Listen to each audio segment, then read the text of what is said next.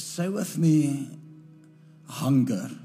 I can hear when people lose their hunger for God. Or I can hear when they don't have a river that flows out of them because religion has settled into them. Religion settles in and it makes a person, it makes a person stubborn. It makes them unable to flow with God. It makes them unable to detect the currents of the Spirit. It makes them unable to detect the winds of where the Spirit is blowing, where the Spirit is breathing. And religion does it because religion is simply let's do what we did yesterday. And I said it in Krugersdorp. I said the band become religious, and then not just that the band is evil, but you know, if there is not a change of mind, then we get into a thing where we just do what we always used to do. And what happens is it creates and it causes the people not to encounter God because now it's religious. And the people think two songs and uh, then announcements or offering or whatever, and then another two songs, and we're going to get into the word, or it's two songs, and then we're singing in tongues, and then it's going back to the song, is religion.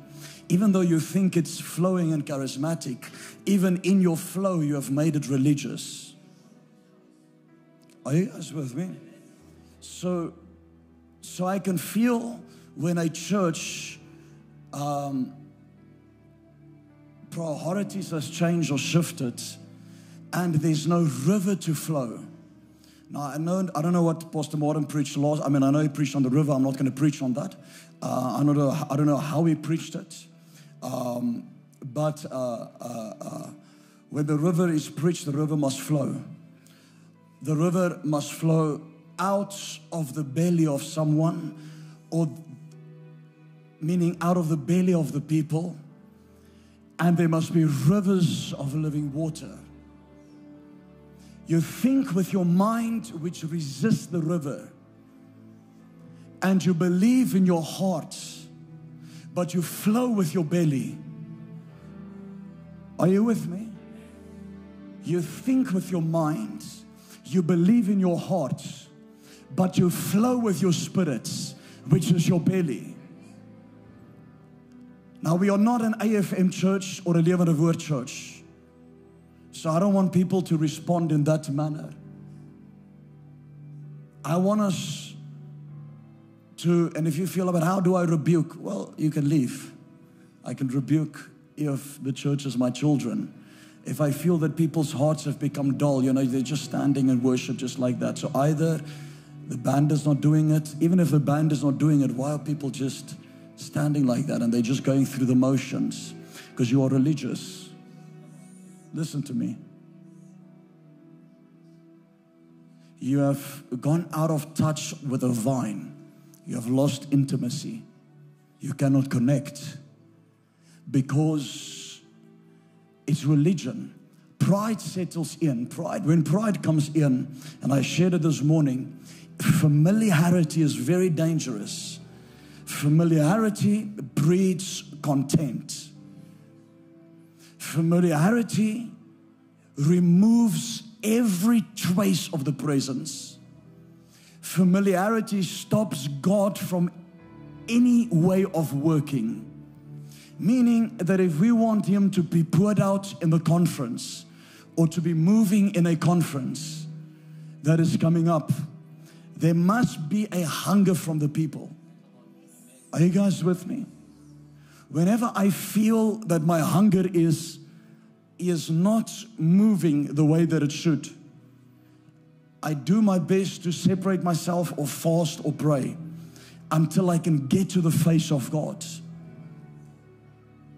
The thing is that uh, uh, uh, uh, people get familiar because they have seen things done over and over. So they want all the time something new. And that pushes preachers to either burn out or it pushes them to fake miracles. And yes, 90% of them fake miracles around the country. They pull people out of wheelchairs faking it. They make people walk where they cannot walk. And they're faking it. I'm not saying everyone, but most, because they feel pressurized now to do a miracle.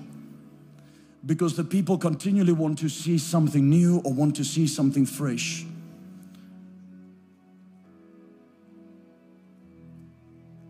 There's a difference between new and freshness, and I taught on this. Fresh can be something old, but it is fresh with oil. But for the oil to be activated, there must be honor and not familiarity. There must be an awe and not familiarity. How does the presence come in? The Bible says that fear came upon them all in the New Testament. Great fear came upon them. And then it says, great grace began to move about them. Are you guys with me? Great grace began to move.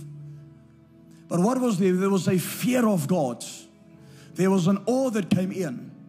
And the problem is that people, and it's not about whether I see miracles or not. No, no, no. It is about how do I see Jesus that is in me? How do I perceive him with my eyes?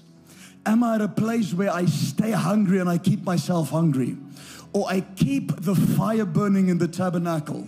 He said, Adam, I'm putting you in the garden to tend and keep the garden to guard it, but to keep it, meaning you have to keep it fresh. I'm putting a priest in a temple to keep the fire burning, to keep the flame burning 24 hours a day. That was the job of the priest to do the functions in the temple and to keep the utensils going in the temple. Are you guys with me? So, when you don't do that because you are the temple of the Holy Spirit and you don't keep the fire burning, the devil intrudes with certain things. He comes into the thought and the mind realm. And the moment he touches the thought and the mind realm, unbelief enters a person. When unbelief enters a person, fear and doubt comes in and legalism comes in. Because now they want to please God or they think they're good by a certain way, but fear and doubt comes in. Listen to me. Demons come to people because of fear, doubt, and legalism. Are you guys with me?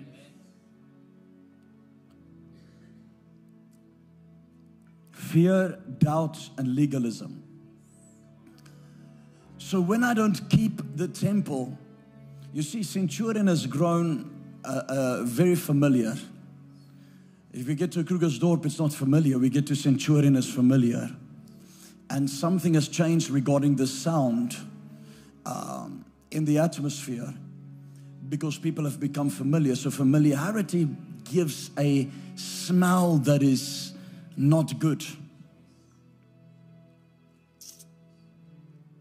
The lady with the issue of blood was in a crowd of how many people? And she pressed through the crowd to touch the hem of his garment. And she received the healing. Yet every single other person touched him.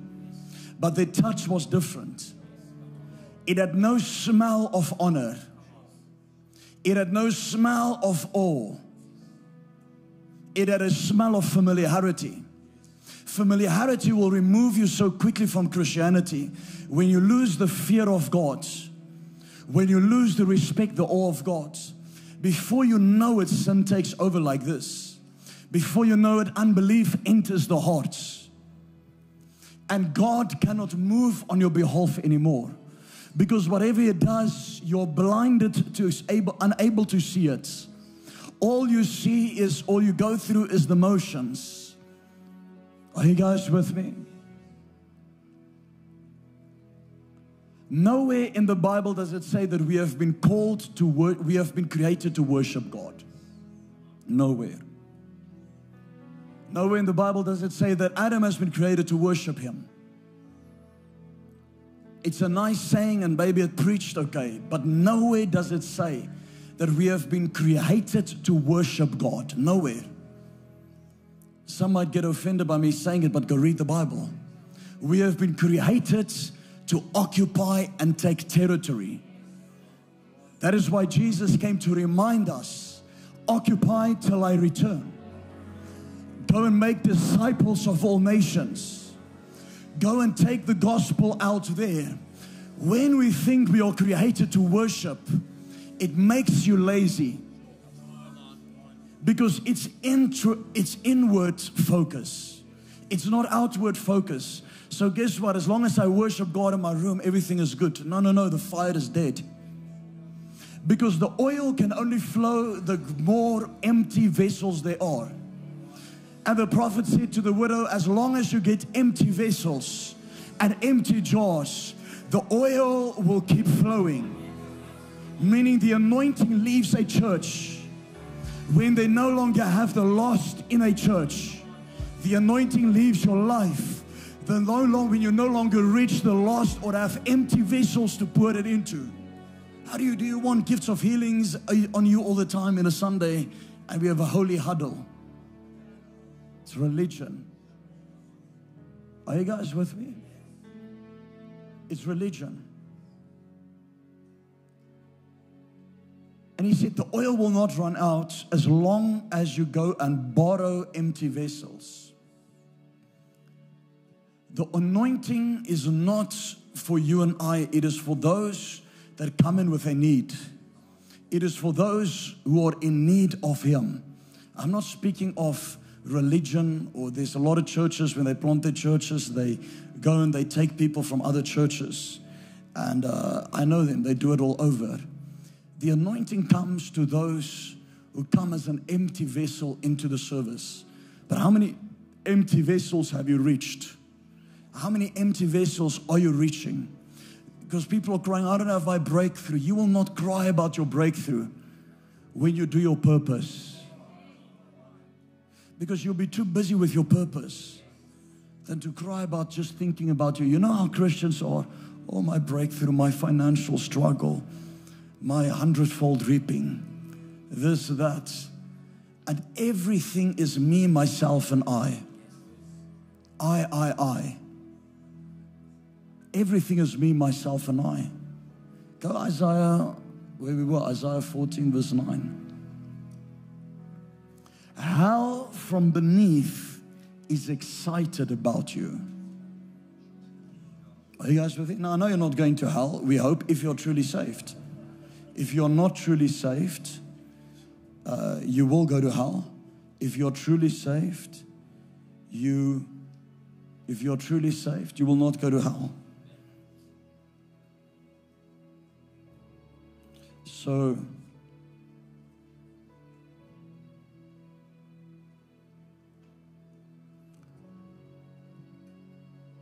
hell from beneath is excited about you. Meaning,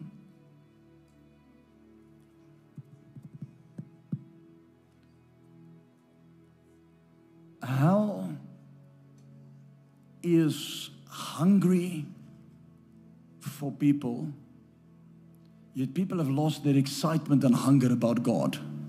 To meet you at your coming, it stirs up the dead for you. Now he's speaking and it's going to go into Lucifer, so don't worry all the chief ones of the earth, it is raised up from their thrones, all the kings of the nations. They all shall speak and say to you, Have you also become as weak as we? Have you become like us? So these are the nations that Lucifer led, that he ruled over. These were the nations that he ruled over. And when he's going to be brought down, the Bible says they will look at him. The nations will look at him and say, Are you the one? Have you also become as weak as we? Have you become like us? Are you the one? Your pomp is brought down to Sheol. Your pride, say with your pride, is brought down to Sheol, and the sound of your stringed instruments, the maggot is spread under you. Speaking of Lucifer here, and worms cover you. How you are fallen from heaven, O Lucifer, son of the morning. How you are cut down to the ground. Hold on. What do you cut down?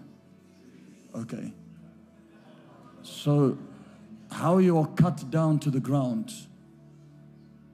You were weakened, you who weakened the nations you who weaken the nations.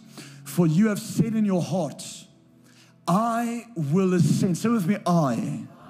I will ascend into the heavens. I will exalt my throne above the stars of God. I will also sit, with the I, will sit on the mount of the congregation on the farthest side of the north. North is a sign of pride. East is, a, is, is pointing towards the glory always. So that is why the sun comes up in the east. So east points towards the sun, which is the glory of God. North speaks of pride because it is the location of God, it is the high and lofty one. So, what did Lucifer do? He was facing north, not facing east. What did Daniel do when he prayed? He faced east. Are you guys with me? What did Lucifer do? He was putting himself in the north, on the furthest side of the north. Next verse. I will ascend above the heights of the clouds. I, I, I. I will be like the Most High.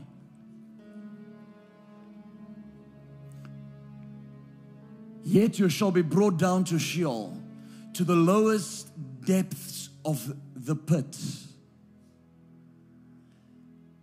They that see you, those who see you will gaze at you and consider you, saying, Is this the man who made the earth tremble? Who shook kingdoms? Who made the world as a wilderness and destroyed its cities? Who did not open the house of his prisoners? All the kings of the nations, all of them sleep in glory, everyone in his own house. Listen. So with me, I. So, what are Christians concerned about? The only thing they are concerned about is me, myself, and I. It's my breakthrough. If I pray right now, everybody that wants breakthrough for finances, everybody comes to the front. And all they see is their problems because they cannot see anyone else's problems. So we have become a Christianity or a, a people that are inwardly focused and not outwardly focused. The moment you become inwardly focused, you die spiritually. Because why must the anointing be given to you? For goosebumps, to feel good, or to reach someone. The oil and the anointing is given to you to reach someone. Uh, are you guys with me? So, a lot of times the church can become inward focused, and it's about the presence, it's about the anointing, which we all focus on that must be there. But we lose the purpose of the presence or the purpose of the anointing. Jesus says, The Spirit of the Lord is upon me because He has anointed me to preach the gospel, to open up the eyes of the blind to set at liberty those who are bound, to set free the captives, and to preach the gospel to the poor. But he says, For this purpose, the Spirit of the Lord has anointed me. So the Spirit of the Lord will only anoint you for a purpose. That purpose is not business. Are you guys with me? Business is for yourself. There's a the, so there's three functions. There's the king, the priest, and the prophet. The king is to take dominion. The priest is to take care of your family and those whom God has put in your covering, in your influence. The prophet is the one that has the ability to speak out so, your purpose is to make disciples of all nations. Are you guys with me? And Jesus left us by saying this commandment. Yes, everybody's like, love the Lord your God, and uh, that's still that's nothing new. That's just the Ten Commandments summed up in the greatest commandment. But then he left us with a great commission, with the last commandment. And he said, Go and make disciples of all nations. Meaning, from the day that you got saved up until now, how many people have you gotten saved? How many have you discipled? That will determine the anointing level upon your life. Everybody wants the anointing, yet God is saying, I'm not seeing empty jars. All of us want to be filled with the anointing, but yet it's going nowhere. Are you guys with me? So He fills you with the anointing, and the Spirit of the Lord anoints you when you know how to give it out to somebody and to go to those who need it, those who are blind, those who are poor, those who are bound, those who are taken captive. And you pray or minister to them, and then the anointing is given to you. But people want the anointing first and then to go do it. No, no, no. He says, Go out and do it. I commanded you to lay hands on the sick, cast out devils, heal the sick. Are you guys with me? And if you shall lay your hands on the sick, they will be healed. Or lay your hands on the sick and they shall recover. He didn't say wait for the anointing, then lay your hands and then you recover them. No, no, no. Lay your hands and they shall recover. Either the gospel is true or not. The problem is we try to lay hands on Christians all the time. Why don't you see healing? Because you're laying your hands on an unbelieving believer. Are you guys with me? Why do you think we don't move in the gifts as much as we should? Because you've, you've seen how many gifts. What do you want to see more? It is time to take it out. Otherwise, you're going to lose it. The Bible says if you don't use it, you lose it. Don't come the, without repentance. No, no, that's the callings. The anointing is not without repentance. The anointing is with repentance, not without repentance. Callings are without repentance. The Bible says gifts and callings, but the anointing, if you don't use it, you lose it. Are you guys with me? So when I become inward focused, it is selfish, it is me, myself, I, and it is what we call the Antichrist spirit. Everybody is waiting for the Antichrist as a person. Yet John is saying, We'll open up Revelation much more deeper, maybe in two years, three years' time. Uh, maybe in two years or three years' time. But John is saying the Antichrist, speaking about the Antichrist, but not once referencing it to a man, but referencing it to people in the church. The book of John. Are you guys with me? Go read it in the book of John. And he says the Antichrist spirit is already here, it's in the church. Which meaning there are some that is antichrist and about themselves.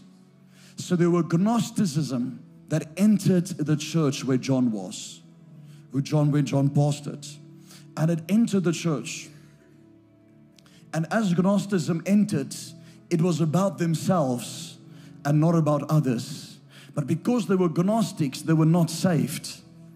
That is why John says, if we confess our trespasses one to another, we shall be, uh, he shall forgive our sins and cleanse us of all unrighteousness. He wasn't speaking to believers there, he was speaking to the Gnostics, unbelievers in the church who listened to another gospel, was teaching false teachings.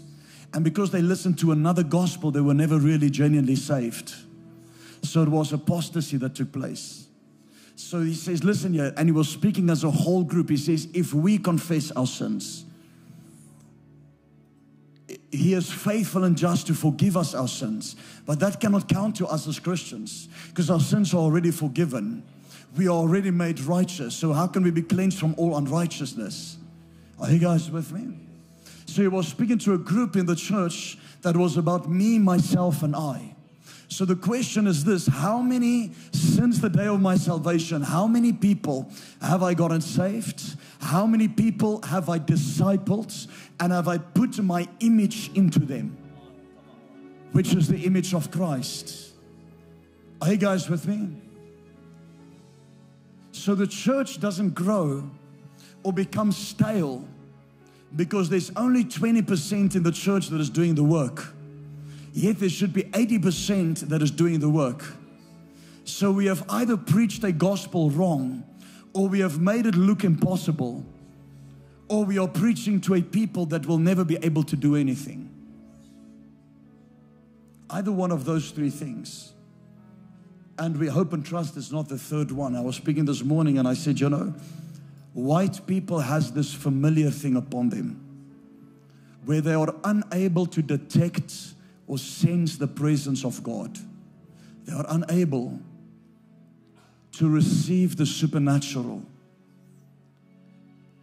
Here they can because we take them through the DNA, but do you know how many things we have to take them through? When all of you come in, you just, in the beginning, you just come and you just stand, you receive nothing. Then we have to teach you this is how you receive when you lay hands. This is the, that's how religion has messed you up. Religion has killed a lot of people. Are you guys with me? Don't fall back and don't go back into religion. For Galatians, uh, Paul said to the Galatian church, he says, Who has bewitched you?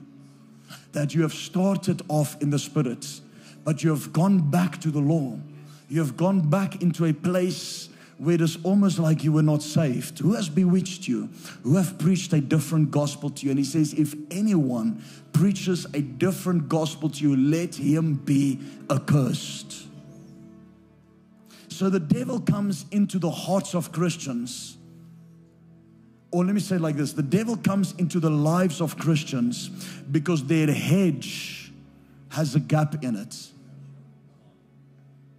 and their hedge gets a gap in it because they allowed their thoughts and their hearts to go off. So, how did Satan enter the garden? The hedge was broken. I'm going to show it to you now, the scripture. Are you guys with me? The hedge was broken. So, what is happening? How does Satan come into people's lives? Because many times, you know, when I preach, I look at people's faces. Do you know how many times I see condemnation on your faces? And then I'm thinking, who is, where are you listening to the law? Are you listening to some preacher there on YouTube? Uh, I don't know who, but are you listening to somebody there on YouTube? Who is preaching? Who has put condemnation over you? Or why are you listening to the lies of the devil about you?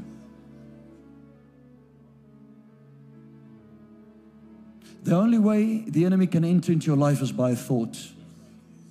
The only way we break the protection of God upon our lives is by our thoughts. We'll get into the verses now. But I want to address this thing where, uh, where, you know, we, we faced a lot of opposition. And we had people sending people inbox messages and writing articles about us uh, there was one person, I think, how many articles did they write? 90, 90. 90 articles about us. So we sent him a lawyer's letter after seven years of 90 articles, thinking that, uh, you know, but it was character assassination. And what they would do, they would destroy the church.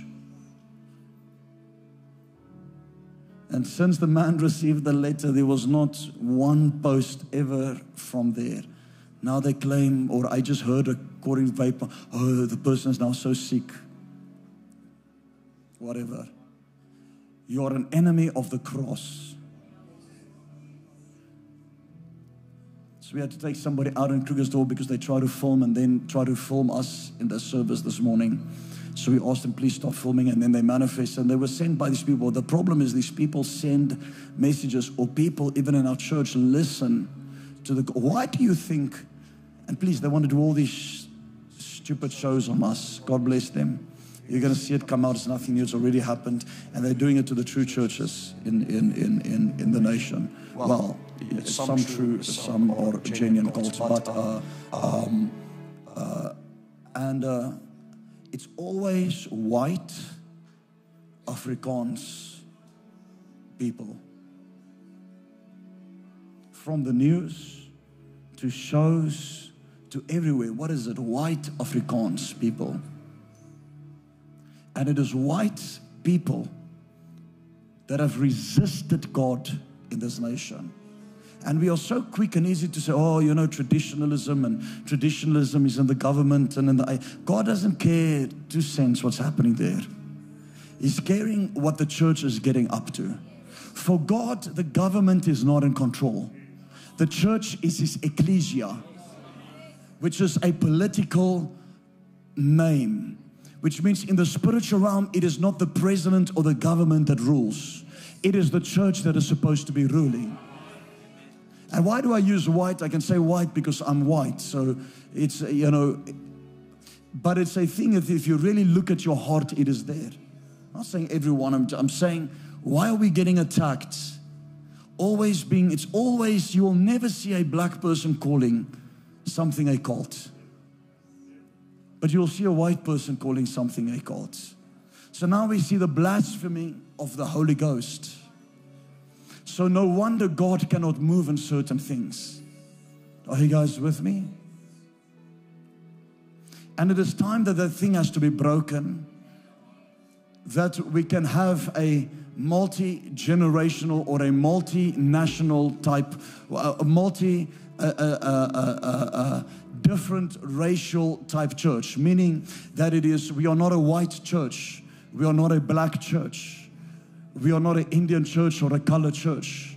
That it is mixed and we regard no one after the flesh, but after the spirit.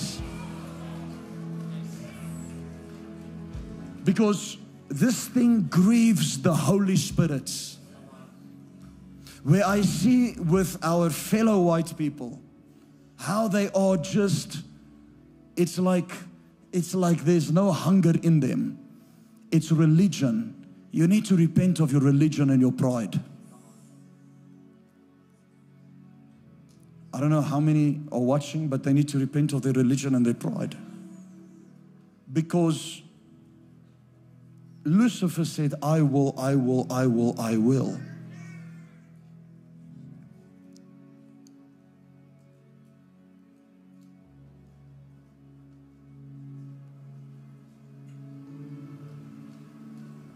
I'm going to speak to my pastors tonight about things what they do where they grieve the Holy Spirit.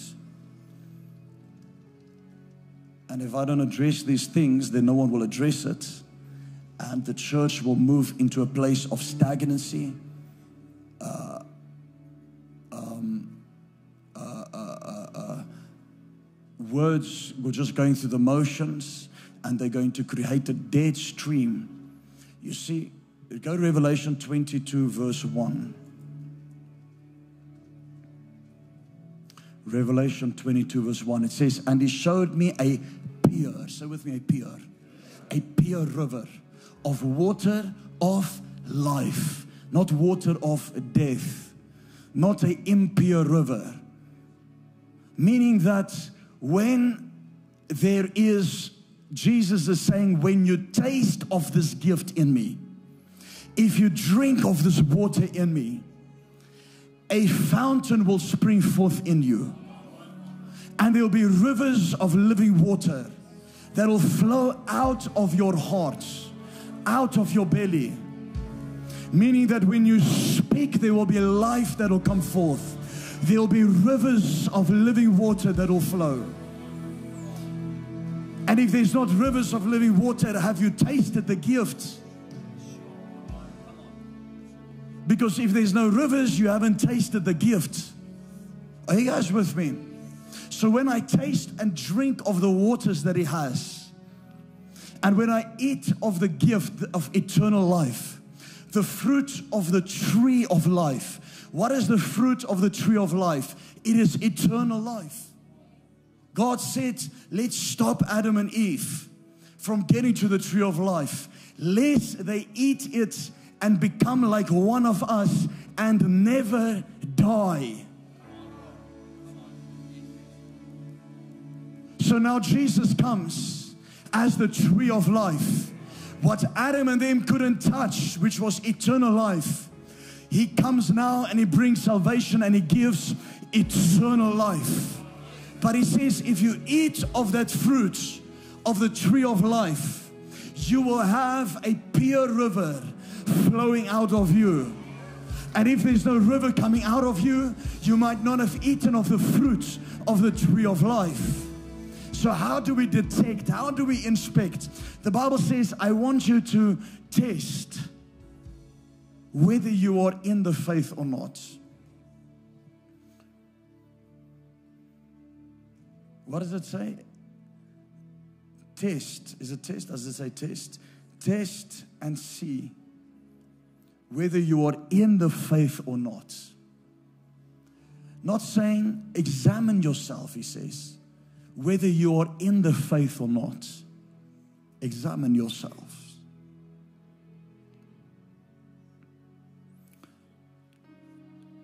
To see was my salvation mental? Or was it believing with my heart fully? And does that result in rivers of living water that is flowing out of me? Now, there can be things that can block the river from flowing. You see, you have ankle deep, knee deep, waist deep, and fully immersed. Are you guys with me? What is it? Ezekiel 48, 47. You are fully immersed. The problem is this that when the river came out of the temple, it was ankle deep. And the further it went away from the temple, it became deeper and deeper. So by the temple, it was ankle deep. Further away, it went knee deep. Further away, it went waist deep. Further away, it is fully immersed. The river in your life can only increase when you reach people out of the temple because the rivers are flowing out of the temple. And the deeper you want to go, the further you have to go. So, people that are staying in the temple, listen, it's old covenant. The church is there to be equipped on a Sunday, but then it is for you to take the river out during the week and take what you have received here. But you cannot receive if you have not been faithful out there. Because if you don't use it, you lose it. Are you guys with me? And a lot of people are waiting to mature before they can minister. While the Bible says, I want you to minister before you mature. We have raised, uh, people have, uh, you know, you got this soy boy uh, generation or what do they call them? Like a, I don't know, weak generation. Snowflake. I see this. Man, they're making this movie in America called American, was it American Gospel or something like that? Is it American Gospel? And uh, they're speaking about cessationism and they're speaking how the charismatic church is off and there's no more gifts and they do this whole thing and they're spreading these things in America. And there was this 40 year old man, uh, some liberal type thing that shouldn't be a pastor. I'm not exactly sure what was going on there. And he was sitting there with his hair come over and dresses in his liberal way. And he's now a pastor that gave up or something. And he starts crying and he's like, oh, you know, the church hurt me so much. I'm thinking, grow up. What a coward you are.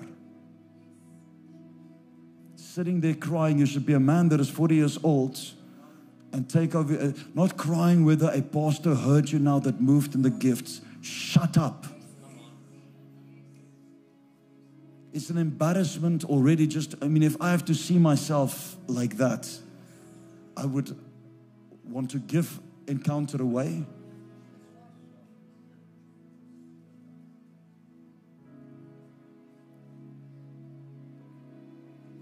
So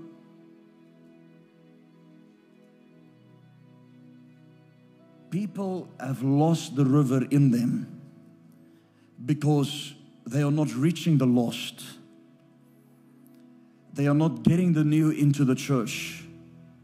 And then what happens is the anointing, it cannot be a holy huddle if there's no growth. Even in your cell groups, you will see what is happening in your cell groups. The moment there's new people, you'll feel an anointing in the presence. I promise you.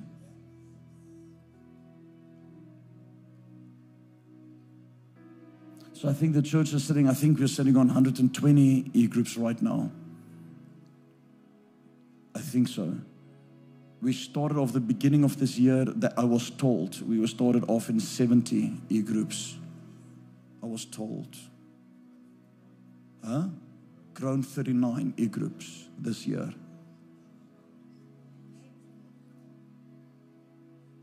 Why are your people not coming to church?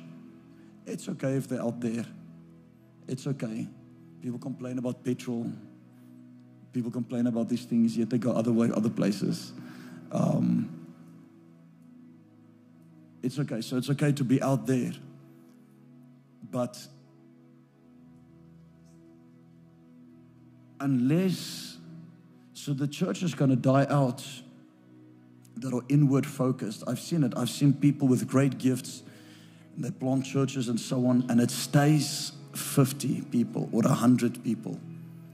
It stays that amount of people for how many years? Because it's all about the inward focus, not the outward focus. Are you guys with me? Jesus said, Occupy till I come. But what happens is that Satan enters our garden, our lives, through our thoughts. So I can look in somebody's eyes and see what thoughts they have. If it's thoughts of condemnation, or if it's thoughts of how, what do they think about themselves.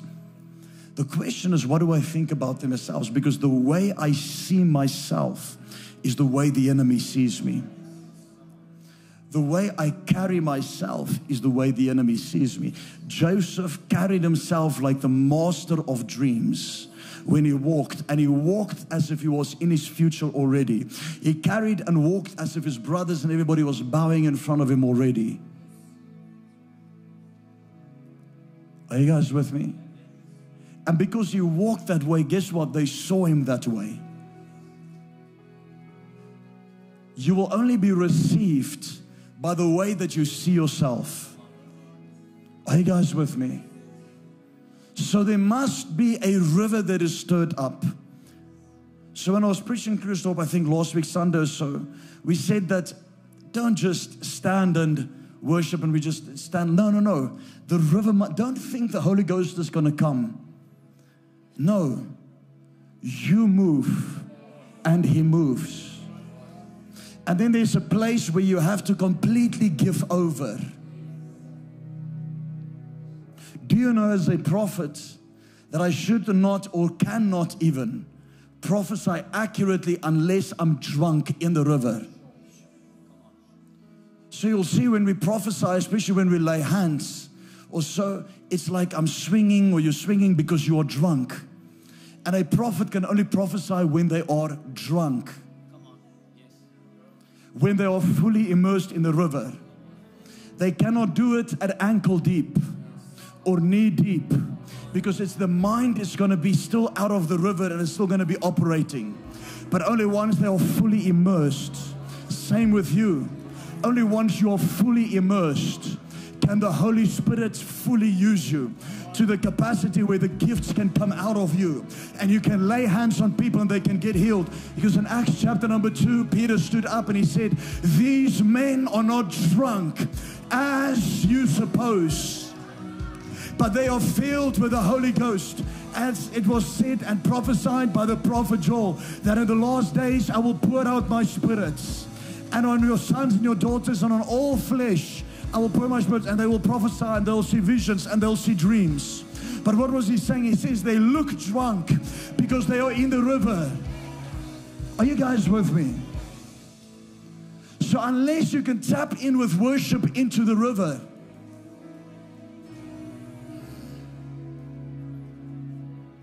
are you guys with me? Say with me the river. You cannot flow or move with God outside of being letting the river take you. When you're ankle deep, you're resisting. When you're knee deep, you're resisting. Who is somebody that is ankle deep? You can lay hands on them, you can prophesy, you can do anything, and they're just standing there.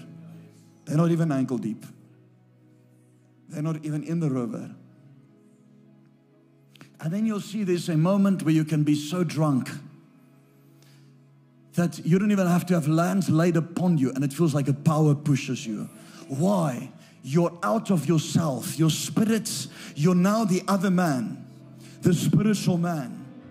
When the Spirit of the Lord comes and rushes upon you, you will be changed into the other man. You'll be changed into another man. But people have allowed a lot of sins that weighs them down, and they are unable to flow with the Holy Ghost. They are unable to flow with the river or where the Spirit of God is taking them. Please understand, everywhere it speaks of the, the Holy Ghost, there's a flowing. Those who are born of the Spirit, they are like the wind. You don't know where they're coming from or where they're going. They are off, they are like the wind. There's a breathing, there's a flowing. Rivers will flow out of your belly. The Holy Ghost. You'll be like a river that will flow. Are you guys with me? You don't know whether you go left or whether you go right, but there's a flowing that takes place. Praise and worship is not praise and worship until you are in that place. Reuben was given birth by as the tribe of Israel, which is the ability of revelation and sight. Then Simeon, is it Simeon? Yeah, then Simeon, which is the ability to hear. Then Levi, which is meaning one with God. Then Judah, which is to praise and worship. So you cannot even praise or worship God unless you have a revelation, unless you see Him with your spiritual eyes, unless you hear His voice, and unless you are in intimacy, intimate relationship with Him. Are you guys with me? So Enoch walked with God. And as he walked with God, suddenly he was not, for God took him. The word took means to be intertwined, intimate, and to become one. In the Hebrew, it means kava, to become one with God. Meaning that you carry the mind of Christ, but you become one with Him. You become one of the wind. You are born of the Spirit. And Enoch had a life, and we'll get into that later in this series. That is a type and a shadow of who we are. That you have the ability to be ascended and taken up. Are you guys with me? God no longer comes down. In the old covenant, the glory came down. In the new covenant, the glory comes out. In the old covenant, the glory came down. In the new covenant, the Bible says, Arise and shine, for your light has come, and the glory of the Lord is risen upon you. How can something rise upon you? Because it's coming out of you, and there's a rising that is taking place. But it tells you, Arise and shine. Do you know what happens when I worship God? I don't worship and beg Him. Oh Lord, please come into this place. I shift a dimension. I shift a person in me. Because it is not me begging him to come down. He said, I will never leave you nor forsake you. He says, Arise and shine, meaning you stand up, you arise. When the angel came to Peter, he struck him by the hip and he says, Arise to your feet, stand up. Meaning there's a rising that must take place in your spirits. It is you that chooses to rise. Are you guys with me? So when I worship Him, I arise in me to worship Him. I don't beg Him. I am the gate. I allow the King of Glory to come in. Op- lift up your heads, O your gates, and open the gates for the King of Glory. Make way for the King of Glory to come through, meaning that the King of Glory comes through your gates when you choose to arise and shine, for your light has come. And you make way for the King to come out of you, not for the King to come down. Change your mind. Are you guys with me? He comes out. Say with me, out. He doesn't come down. Nowhere do we worship. In fact, we want to change the songs. When it says glory come down and all this stuff, that's old covenant. The new covenant, the glory comes out. The old covenant, you touch the glory, you died. The new covenant, you touch the glory, you lived, you healed. Are you guys with me? The old covenant, you tithe out of a fearful heart. In the new covenant, you tithe out of a cheerful heart. You see how things have shifted. Are you guys with me? So there is a river that flows out of you and it should come out of the temple. And Jesus says, If you drink of the water that I have for you, what is the water that I have for you? It is eternal life. If you drink of the water that I have for you, there will be rivers of living water coming out of your heart. There will be a fountain springing forth inside of you. Meaning, many people have that fountain have died up. The fountain is no longer a spring, or the river is no longer a spring and a river. It has become a reservoir. something that just maintains and keeps and dies and rots. No longer a spring that is springing forth because there are things that have clogged up their minds and the devil has entered through thoughts. You are only protected by your thoughts and your heart. There are three things that covers you. A hedge that creates a hedge. And we're going to look at the life of Adam, we're going to look at the life of Job. Is it okay if I just talk to you? It's your thoughts, it's your mind, it's your heart, and it's your giving. Job's money was his, Job's riches was his hedge. Then Job's thoughts was his hedge. And Job's heart was his hedge. I'll show it to you out of scripture. Are you guys with me? Those were the things. And Satan is unable to break through a hedge. He's not allowed to. He cannot. You can have a rich man and a recession strikes, or he loses his business, or whatever happens, and his money becomes a defense for him can carry him for a few years. Then you can have a poor man, both having a great relationship with God. Recession hits or life hits, and they they have nothing. Money destroys them. They end up, I mean, the lack of money destroys them. They end up cursing God. We see how the devil has entered into Job because his hedge was broken. Number one, his money was taken away because of his thought life that has been that has been accessed by the enemy. Every thought that comes into your head that says to you, you're going to lose everything, is an open door for the enemy, or a thought that comes in and says, you're going to lose your job is an open door for the enemy or a thought that comes in that says you are not good enough is an open door for the enemy and a hedge is open for Satan to enter into. Are you guys with me? You look and answer me as if you know all this stuff. It is okay. That is what preachers have to go through.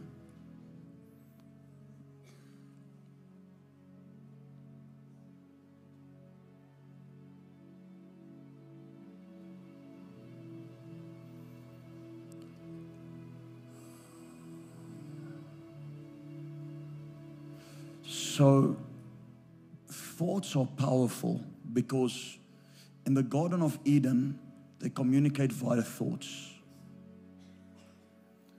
We also see, and I'm not going to get into it tonight, uh, all the animals spoke, not only the serpent, all the animals spoke. And then God shut their mouths where is it? Let's get into it. All the animals spoke. That is why some animals still have a voice box left. That is why a parrot can repeat what you are saying. That is why other animals, there are certain animals that can actually speak things. Obviously, only what you're saying. Why? Because their soul capacity has been removed or has been shut down, their consciousness. How do I know it? They had to have a soul because a spirit and a body births and creates a soul. I shared it to you this morning. So God never created the soul of man. And even if it does, but according to scripture, if we look at text now, the Bible says that God created the spirit of a man, then he created he created the body, he breathed life into the body, which is chai, which is life. He breathed life into the body. But then it says this, and man became a living soul. So the soul was birthed and sparked by the spirit and the flesh and the life that came from God, then a soul was birthed. So a soul was a result of the spirit and the body and the chai, which is the lives, which is the energy of God. Are you guys with me? Why do you think in Eastern religions they use, they call energy chi? It's taken from the Hebrew word chai, which means life force. Are you guys with me? That life force came from God, breathed it into man. So there's an energy in you which is not demonic, it is from God. It is the energy power of heaven.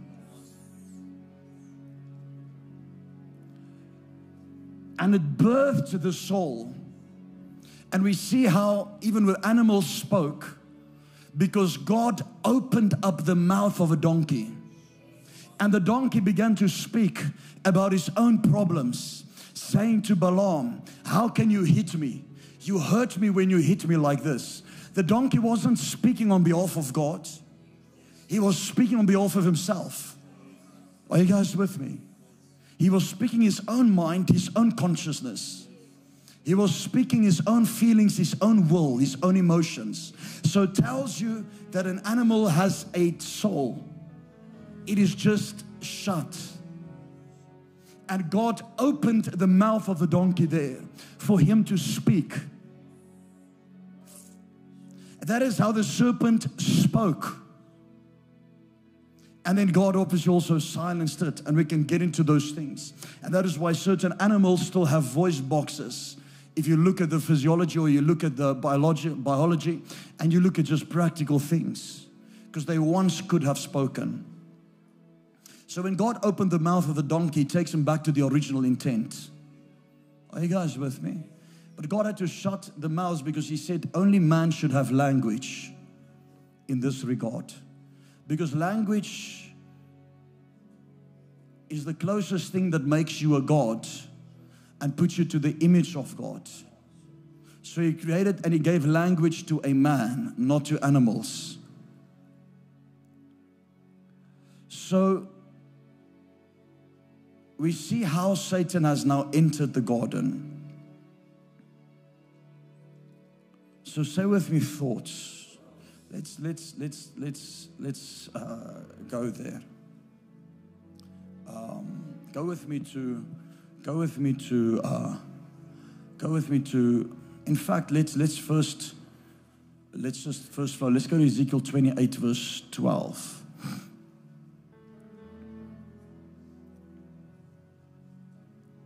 Ezekiel 28 verse 12. Zanana. Let me just see. Yeah.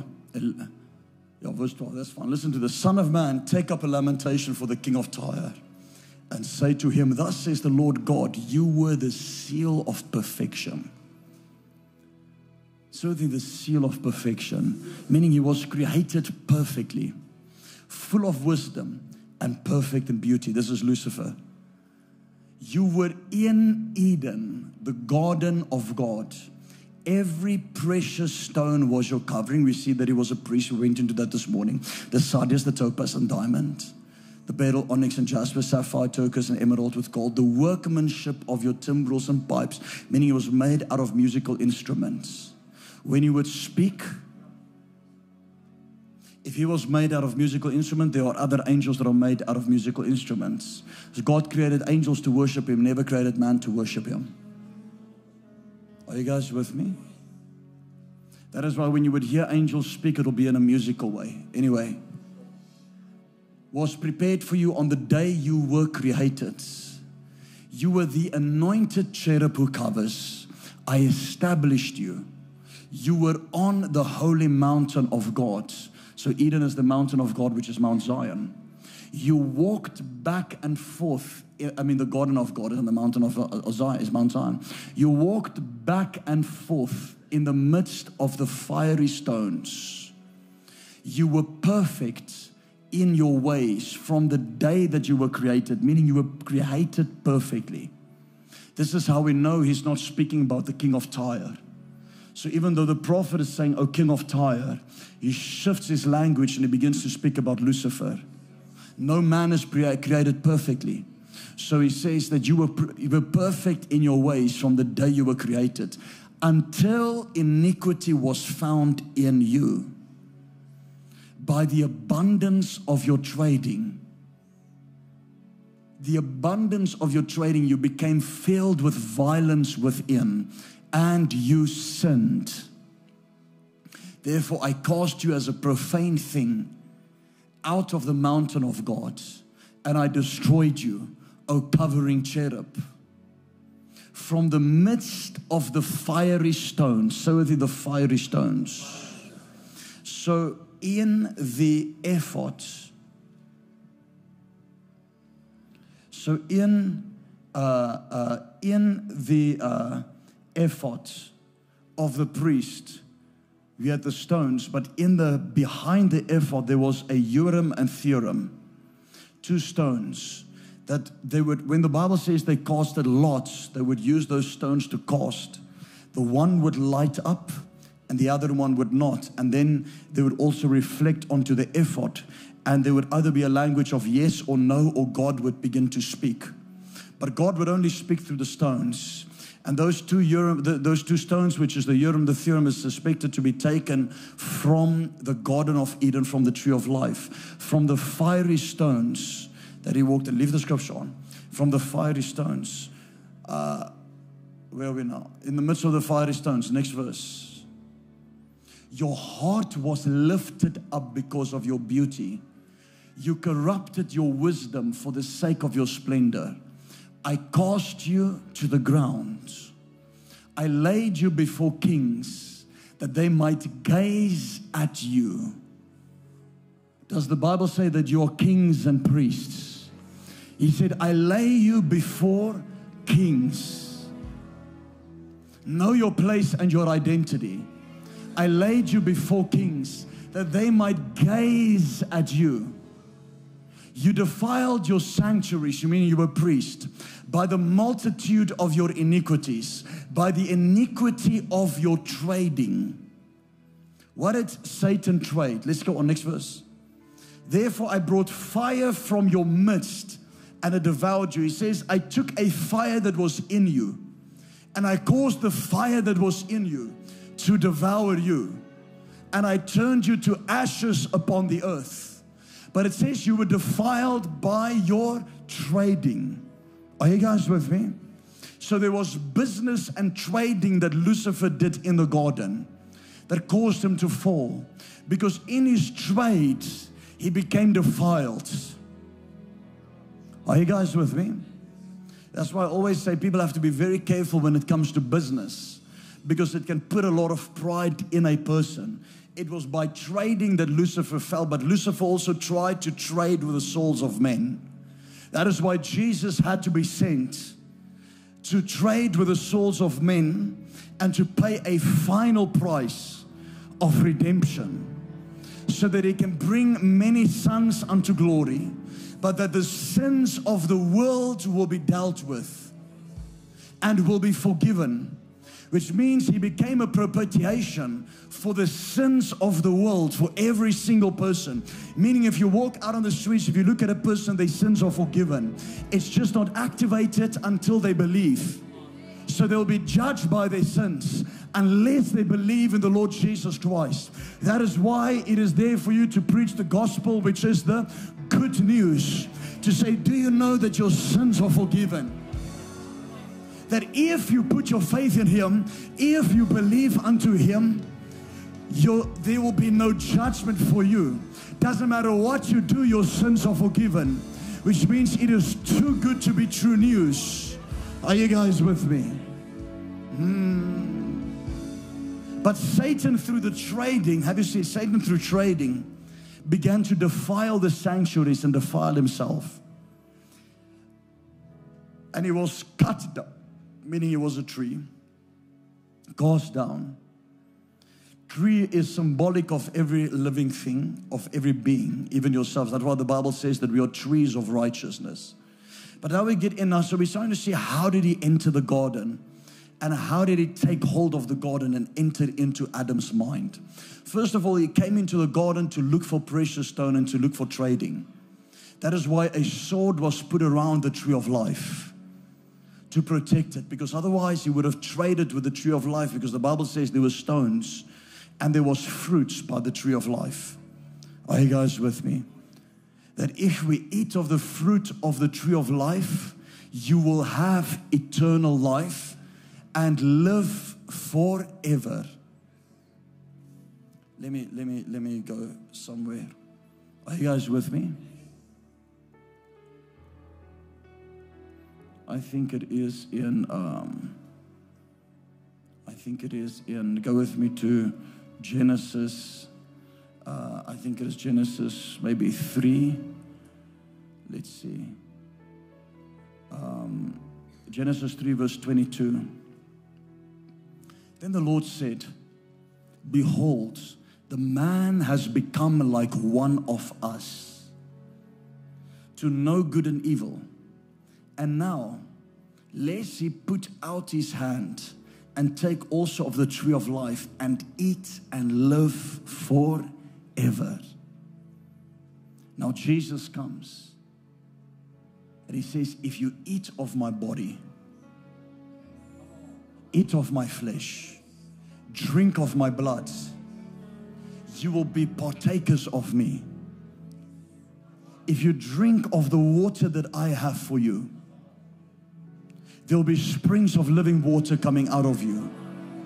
And you will have eternal life, meaning you will live forever. Meaning it is God's eternal plan for man to have always lived forever. Adam and Eve was allowed to eat of the fruit of the tree of life they chose the tree of the knowledge of good and evil, and God had to shut the tree of life for a time. But He knew that He was going to send the tree of life, which is Jesus Christ, to bring an eternal redemption, or called the plan of the ages, to mankind, so that we can again eat of the tree of life and get eternal life to live forever meaning that you have eaten, if you have eaten of the fruit, if you have drank from the river that is in Christ, from the rivers and the waters of life that is the gospel, you will live forever. Mm, whether it is you're living and you're dying in this flesh, there'll be life forever. It's called the immortality of the believer even though I believe there are some that might not taste it, taste death. Are you guys with me? Enoch was taken as an example and a type and shadow to show God's ultimate plan. There are people that are living in longevity, and we'll call it for safety longevity. I don't believe in the doctrine of immortality, where we say that, uh, or where it was preached to say that everyone will live and not die in the physical body. This physical body has to go back to where it was made from. Dust have to return to dust. But there is a place of translation when it comes to a generation that will be like Enoch, that will be taken. I'm not speaking of the rapture. In fact, there are people that are alive right now. And this is just by word of mouth and by people that have written testimonies. There's about 30 of them that is alive right now. And, uh, and you can study it, it is there. That is living way beyond 100. When I say way, the furthest one is 300. It is documented, it is a witness, it's eyewitnesses that have seen it. So it is not um, anything. Now, whether they are uh, whether they are uh, uh, watchers or whether they are humans, we're not exactly sure, but let's just say they are humans. But they have tapped into the tree of life. Even though we understand that eternal life, you will live forever, means that if we put this body to death, there's the immortality of the believer. And the immortality of the believer messes up the doctrine of hell, which we're not going to give you. We'll teach it in Bible school. Because there's the mortality of the unbeliever and the immortality of the believer. Are you guys with me? I'm not going to confuse you, so I'm not going to go deeper. But that is theology. So there are four views on hell, there are four views on heaven there are four views on grace. There are four views on uh, on salvation. There are four views on. Uh, there are four views because you have hell. Let me explain to you. That's fine. You have the traditional view of hell, which means that you'll burn forever. That's the traditional hell view, which is the most accurate view according to Scripture. Then there's a second view, which means. Um, perdition, I think, which means you will go there and you will only burn uh, a little bit for your sins or so, and then you'll come out, and we know that is not scriptural. Are you guys with me? I think it's a Roman Catholic belief or so. Then you have another view, which is universalism, which is no hell. So they believe that hell was only Gehenna in the New Testament was only a place that Jesus was speaking about that was burning 24 hours, and that's it, that there's no hell, and universalism, meaning all will be saved. And we know that is also false. Are you guys with me? But then there's a fourth view that is becoming very predominant, and it's not too far off from Scripture. It is just to put a thought in your mind, and they call it the mercy and grace of God. It is called the mortality of the believer and the immortality of the unbeliever. It's called the nihilism. So it means that when Jesus says that you shall not perish, but have eternal life, the word perish means your consciousness to disappear. Is it okay if I just explain to you? I'm not saying this is gospel truth, I'm just giving you the four views. Are you guys with me? Same thing that we'll do with eschatology and Bible college, we'll present you the different views of eschatology. There's only one view of eschatology, one or two views that is heretical. All the other views are totally fine. It, uh, a person can believe in any of those other views. It is just one or two that is heretical. Um, so, so, so, nihilism says that and they're connected to a scripture where it says that your thoughts, the, when man dies, his thoughts will disappear. That's what it says. His thoughts will be destroyed and will vanish. There's a scripture like that. It'll vanish. And I, I haven't, um, I'm not teaching on this tonight. So I'm just giving you, I'm just throwing it out to you, but their thoughts will vanish. And it's saying it is a sign of God's mercy, meaning they'll be put into hell, but then they will be put into the lake of fire. And the moment they go into the lake of fire, the lake of fire burns everything, even the consciousness, so that the person disappears.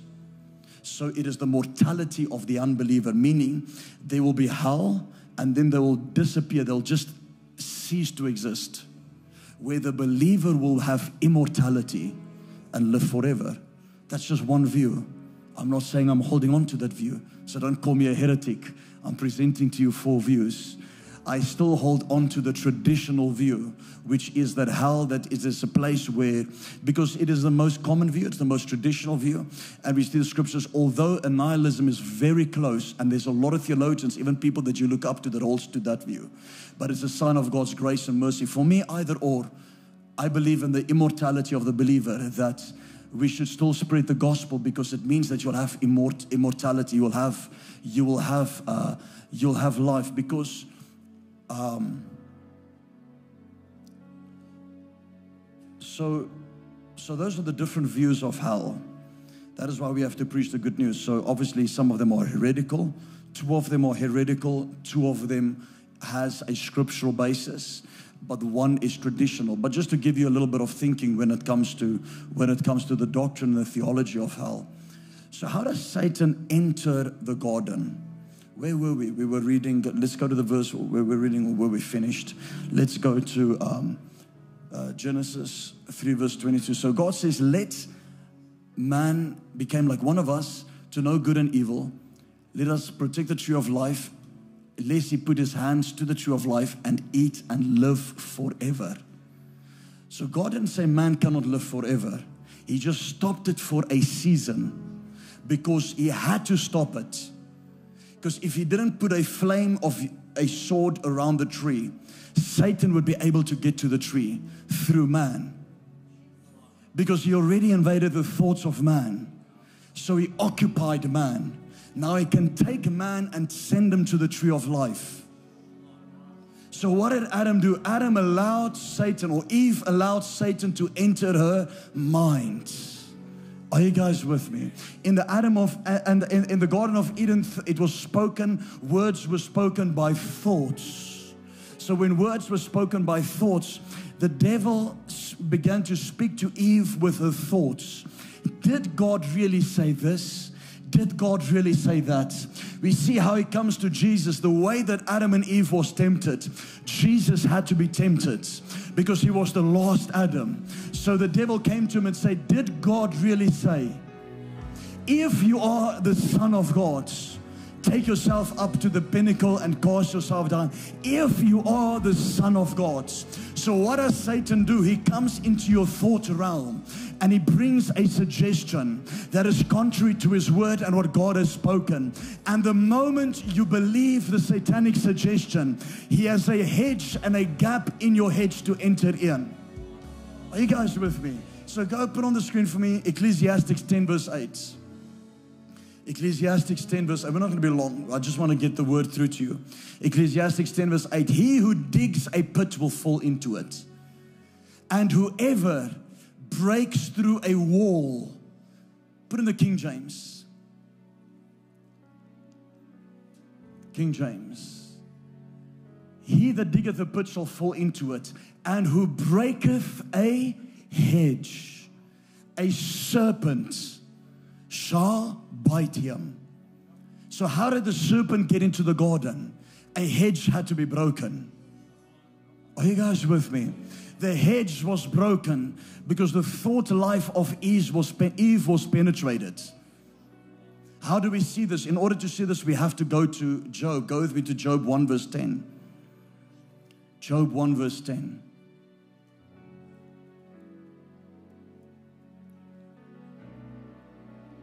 Hast thou, no, no, no, it's fine, okay. Have you made a hedge around him? have you made? So listen, listen. Satan is saying to God, let's read from verse 1. Let's read from verse 1. There was a man in the land of Uz whose name was Job, and that man was blameless and upright, and who feared God and shunned evil. And seven sons and three daughters were born to him.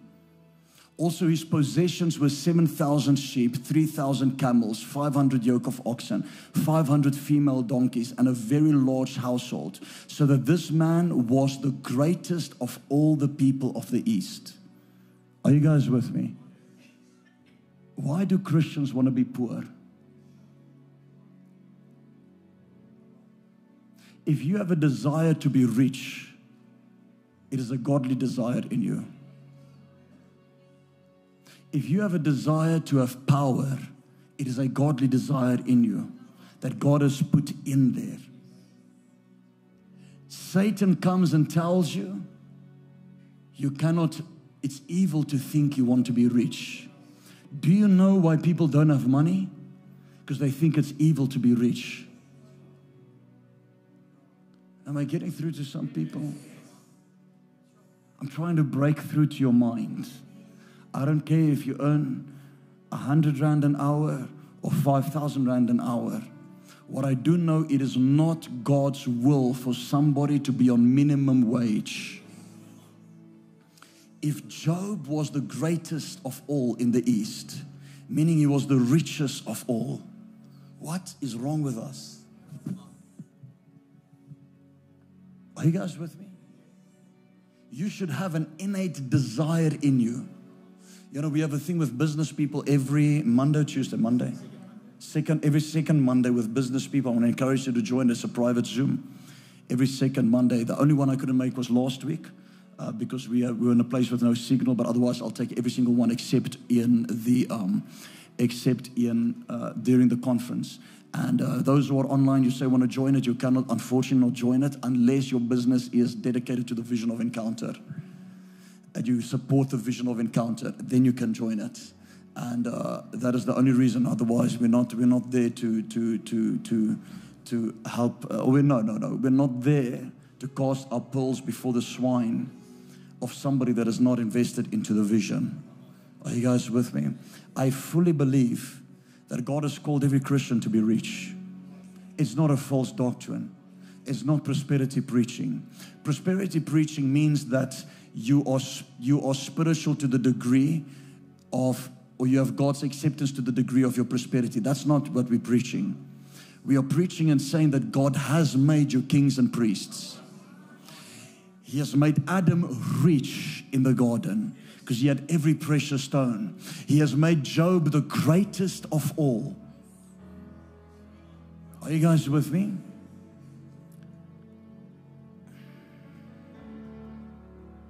And Job's Job's hedge Job's hedge was this. Go for Ecclesiastes 7 verse 12. Your hedge is one part this for wisdom is a defense, as money is a defense. Are you guys with me? I hear these preachers preaching today, and they're preaching against us and preaching against all these false prophets. To them, anything is false that they don't approve of. Okay, so um, don't be one of those. They're just into prosperity preaching and this and that. No, no, no.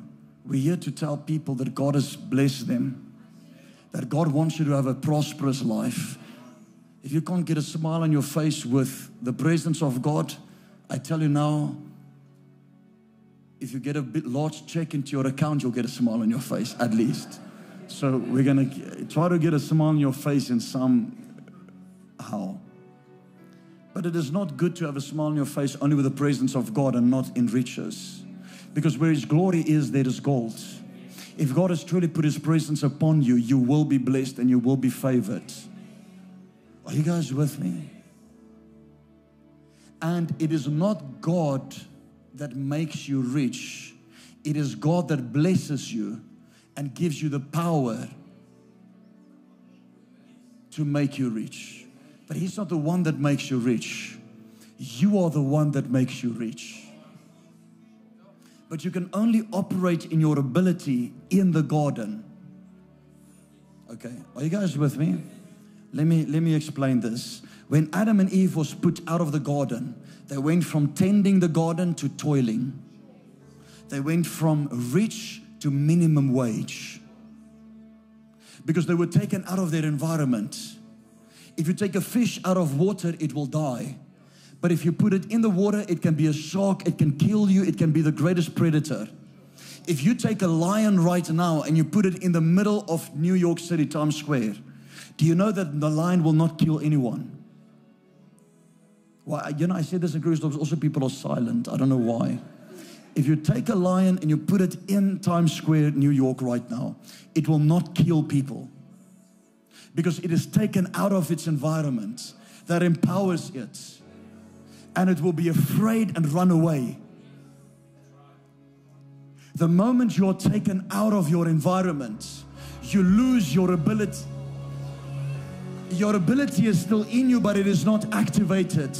It is not effective. and you cannot operate. So anybody taken out of their environment will look like an idiot or will look foolish.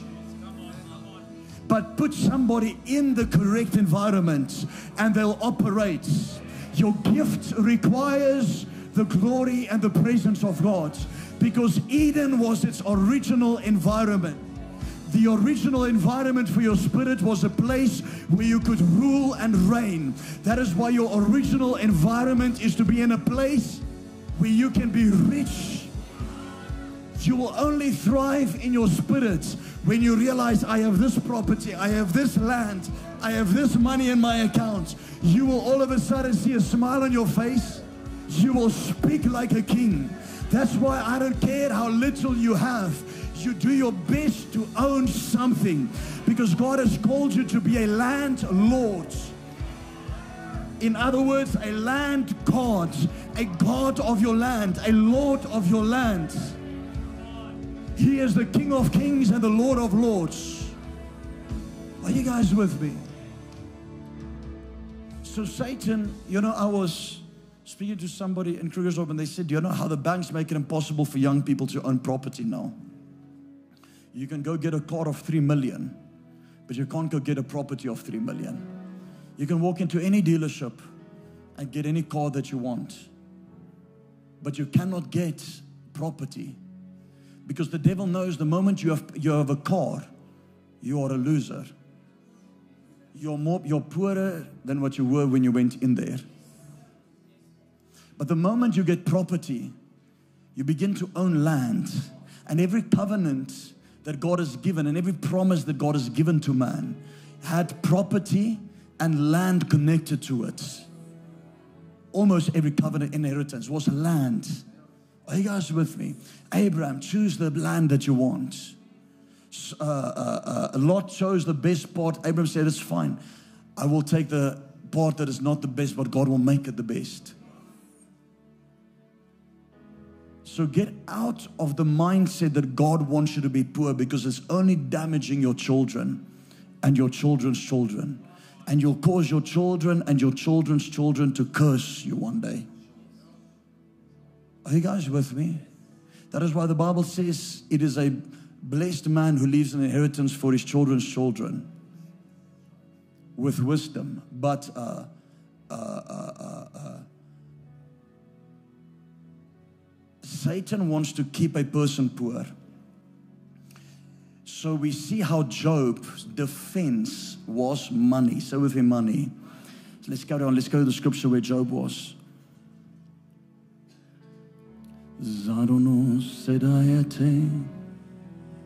Job 1, I think we're Job 1, verse 3 or something. Go there. So his possessions were great. He was the greatest of all the people of the East. Next verse. And his sons would go and feast in their houses, each on his appointed day. So all his sons had houses, and they had feasts in their houses. The man was wealthy. Are you guys with me? And would send an invite their three sisters to eat and drink with them. Go, it was when, uh, what does it say? So it was when the days of feasting had run their course that Job went, would send and sanctify them, and he would rise early in the morning and offer burnt offerings according to the number of them all. For Job said, It may be that my sons have sinned and cursed God in their hearts. Thus, Job did this regularly. Do you know how you will serve God when you have money? I'm just reading the Bible to you. Don't be offended. Don't leave the church. Don't go to the news programs and say you are now a victim of Encounter Church, which some of you are doing and some of you have done. That we are kidnapping your children, brainwashing your children, doing this, and you're going to go to news programs. Please don't be one of those. Why is it so silent in the place? Or you're not used to persecution? I think we had about four shows contacting us now already. Four TV shows. All white people. The one is even saying, You are the main guest. I'm like, I'm not even going to answer you.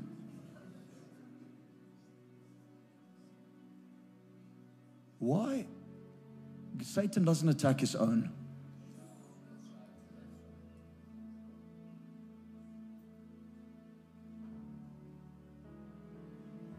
South Africa hates prophets. That's why she killed all the prophets. South Africa hates prophets. So I can choose to become a pastor and leave the prophet, but then I'm going to have to answer to God.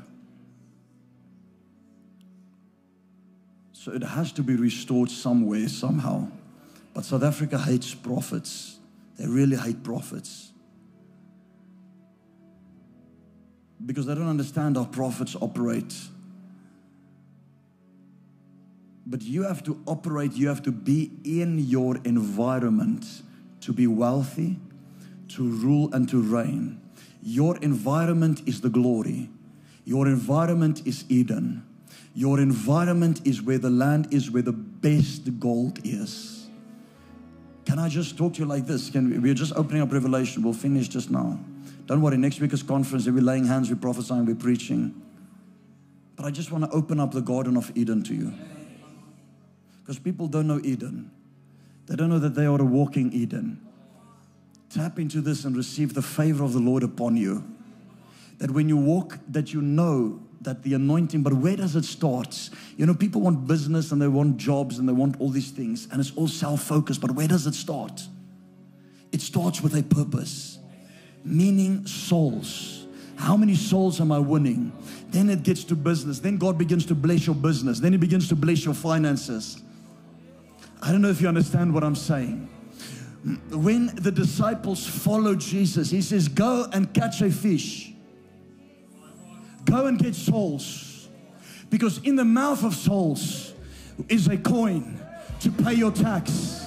So when you fulfill the mandate and the purpose to win souls, to disciples, I will make and I will meet your needs. I will bless you. I will prosper you. But we try to put our needs. He says, Seek ye first the kingdom of God and his righteousness and all these things, say with me, all these things shall be added unto you. Meaning, all these cars, all these houses, everything you need will be given unto you. But what do you do? Focus upon the kingdom. What is the kingdom? Focus upon the purpose making disciples of all nations. What is nations? If I look at my street, who can I win in my street? If I look at my neighborhood, who can I win in my neighborhood? If I look at my business, who can I win in my business? Are you guys with me? Who can I lead to the Lord? Who can I disciple? How do I disciple? I simply say, follow me. People think, have you seen, people think we have to go through all these classes and all these things. Jesus made it so simple. He said, follow me. That's it. Discipleship is followership. That's all. Are you guys with me? Discipleship is followership. If you're going to have somebody to follow you, you can bring them to where you are at. And you will feel and you'll be shocked by the anointing that will come on you. Because now you've taken an empty vessel. I'm not saying look for somebody in the church to disciple them. I'm saying go and win a soul. Maybe you only get it right with one. And then you bring that one to church and you disciple that one. And when God sees that you're faithful with one, He gives you another one, or He gives you the ability to do it with two. And then He increases your capacity and He increases your grace. So, how does a person grow in grace? Paul said these words He says, We speak to those who is in our measure, in our sphere. But we hope that we can extend our sphere by extending through you to reach other groups as well. That when we can reach them, our grace is increased. So God increases your grace, not by somebody throwing a mantle on you,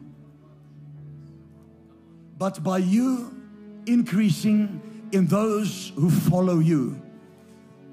And you make them like you. Are you guys with me?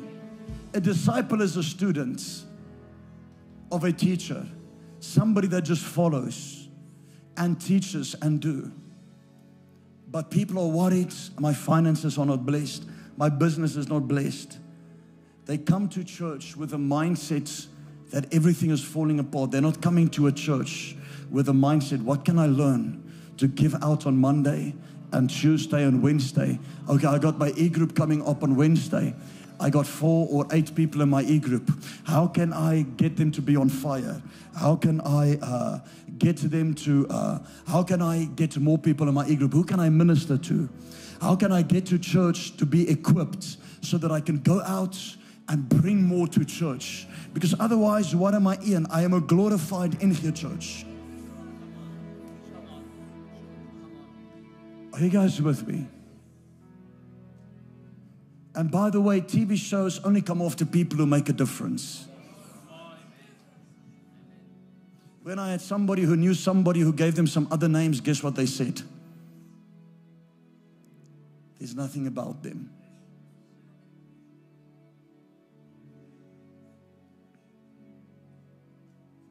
Are you guys with me?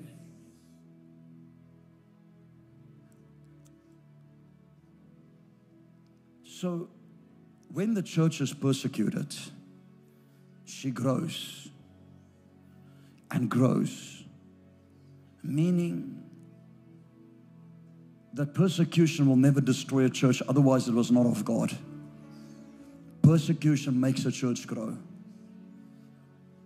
And with all the things that is coming to us, it is like not even bringing one ounce of fear in me.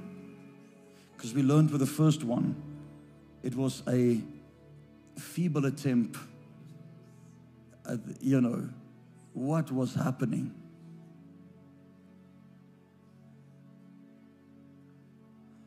So, but the question is, how many have I gotten saved? How has the devil entered my life? So with thought life, so with your thoughts. So he comes in by thoughts.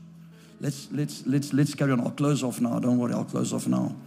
So Proverbs 23, verse 7. And it's not even a message tonight. I'm just giving you, dropping some things for you. Proverbs 23, verse 7. For as he thinks in his heart, as a man thinks in his heart, so is he. So the devil accesses through thoughts. He came in by Eve through thoughts. He came in by Job the fact the Bible, I, am not going to carry on. Let's, let's carry on reading. Let's go to Job 1, where we were. Job 1, verse 5, I think, that I can just at least close off with this. They were feasting. Next verse. So it says that Job did offerings. Next verse. Now there were a day when the sons of God came to present themselves before the Lord, and Satan also came among them. And the Lord said to Satan, From where do you come from? So Satan answered, Lord, and said, From going to and fro on the earth, and from walking back and forth on it. Then the Lord said to Satan, Have you considered my servant Job? He says, I knew you went to his house because you walked back and forth on the earth. And Job was the greatest of all. So have you considered him? My servant Job, that there is none like him on the earth a blameless and upright man, one who fears God and shuns evil. And it just happened that it was a rich man who was the greatest of all. And why do I throw this out? Because it is the mood of the Spirit to try to say that prosperity is not evil, money is not evil. Are you guys with me? Money used in a selfish way is evil, but money used for the purpose of the kingdom of God, it is not evil. And Job was the greatest, and it was his defense. Why? If a recession hits a poor man, as I said it earlier, they cannot do anything. But if recession hits somebody that has finances, the finances becomes a defense. Let me give you an example. You have a poor man and a rich man standing by the street, and it starts raining.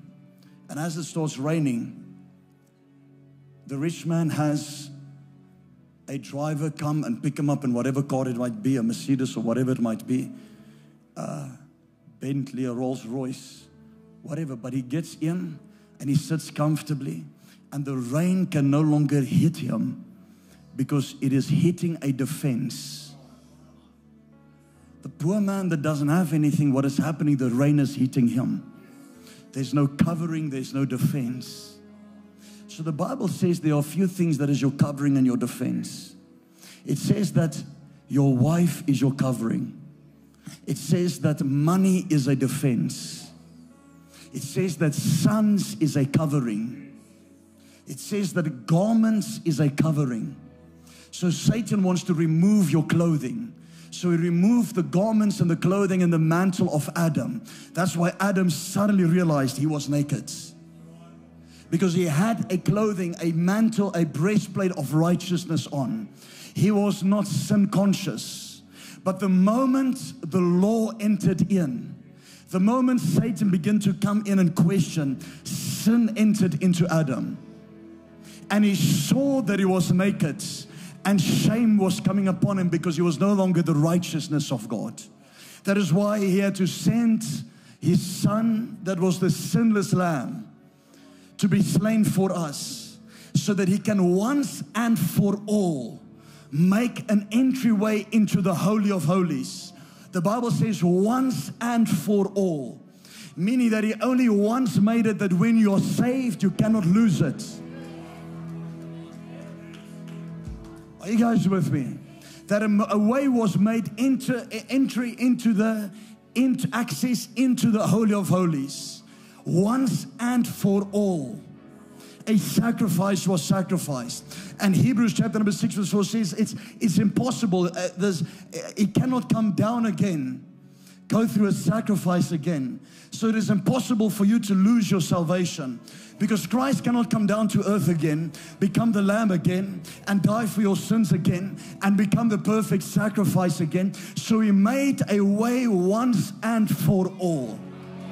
So the moment you say yes to eternal life, and you believe on your heart and you put faith in the blood with no requirement, but the moment you believe it, you will live forever you will have eternal life, not temporal life, which means it is a done deal. It is sealed unto redemption, it is sealed unto eternity.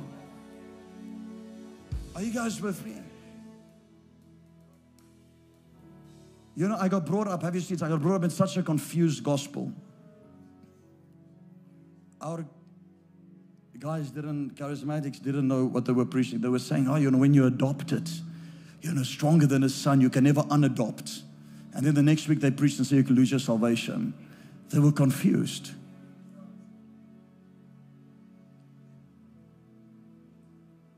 So, money is a defense. Your wife is a defense. Sons is a defense. Noah's sons covered him and they changed. What did they do? The covering was a garment. Many Christians have lost their garments in the spirit. Are you guys with me?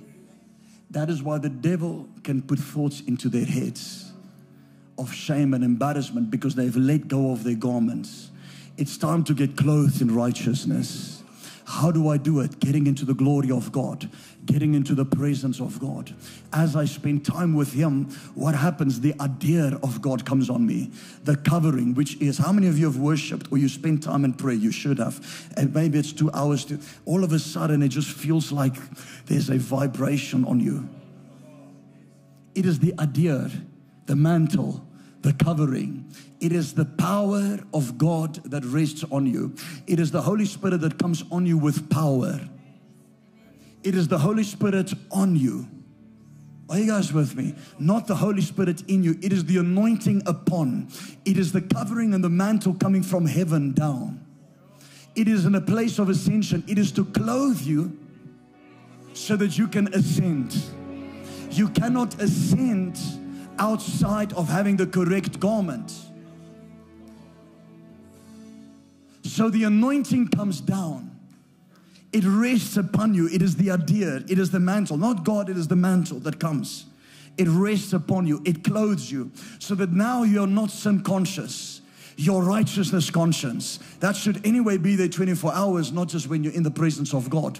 But it helps getting in the presence of God because the blood washes our conscience of dead works. So now you no longer think about your sins. All you think about is the presence, which means now your eyes are focused upon the author and the finisher of our faith. That looking upon Jesus, the author and the finisher. But now, as you're like that, you're clothed in a clothing. So now you can go into a high place. You can ascend, which means you're walking at a different height. And that is how you access ascension. That is how you access the counsel of God. This is how you access or you trample upon serpents and scorpions and upon all the power of the enemy. This is where the oil pours out rock, uh, uh, the rock pours out oil for you in the heights and the depths of the realms of the earth of the spirits. It is in the high place where it pours out oil for you, so you require to ascend, but it's waiting for a change of garments. Are you guys with me? Jacob, I says Jacob, there was a situation with Bethel, and he said to his family and so on, he says, Let's go there, but we cannot go there. We have to change our garments because it's holy ground. So he says, before we can even step on that holy ground, change garments. Moses, this is holy ground. Take off your sandals and step onto holy ground, but you have to change, take off your sandals. You have to change a garment. Elijah, taking the idea, the mantle, covered his face and his head. He took a garment and covered him. Even God is clothed in garments of praise. Are you guys with me? He's clothed in garments of vengeance, the Bible says. Which means that even God has garments. The Bible says in Isaiah 6, verse 1, one of his garments is his glory. That in the temple, the train of his robe shall fill the temple meaning his garment shall fill the temple. And as his garment shall fill the temple, you will know he is there. So, how do we know God is there? By looking at his garments. Who did the lady with the issue of blood touch? She didn't touch Jesus, she touched his garments.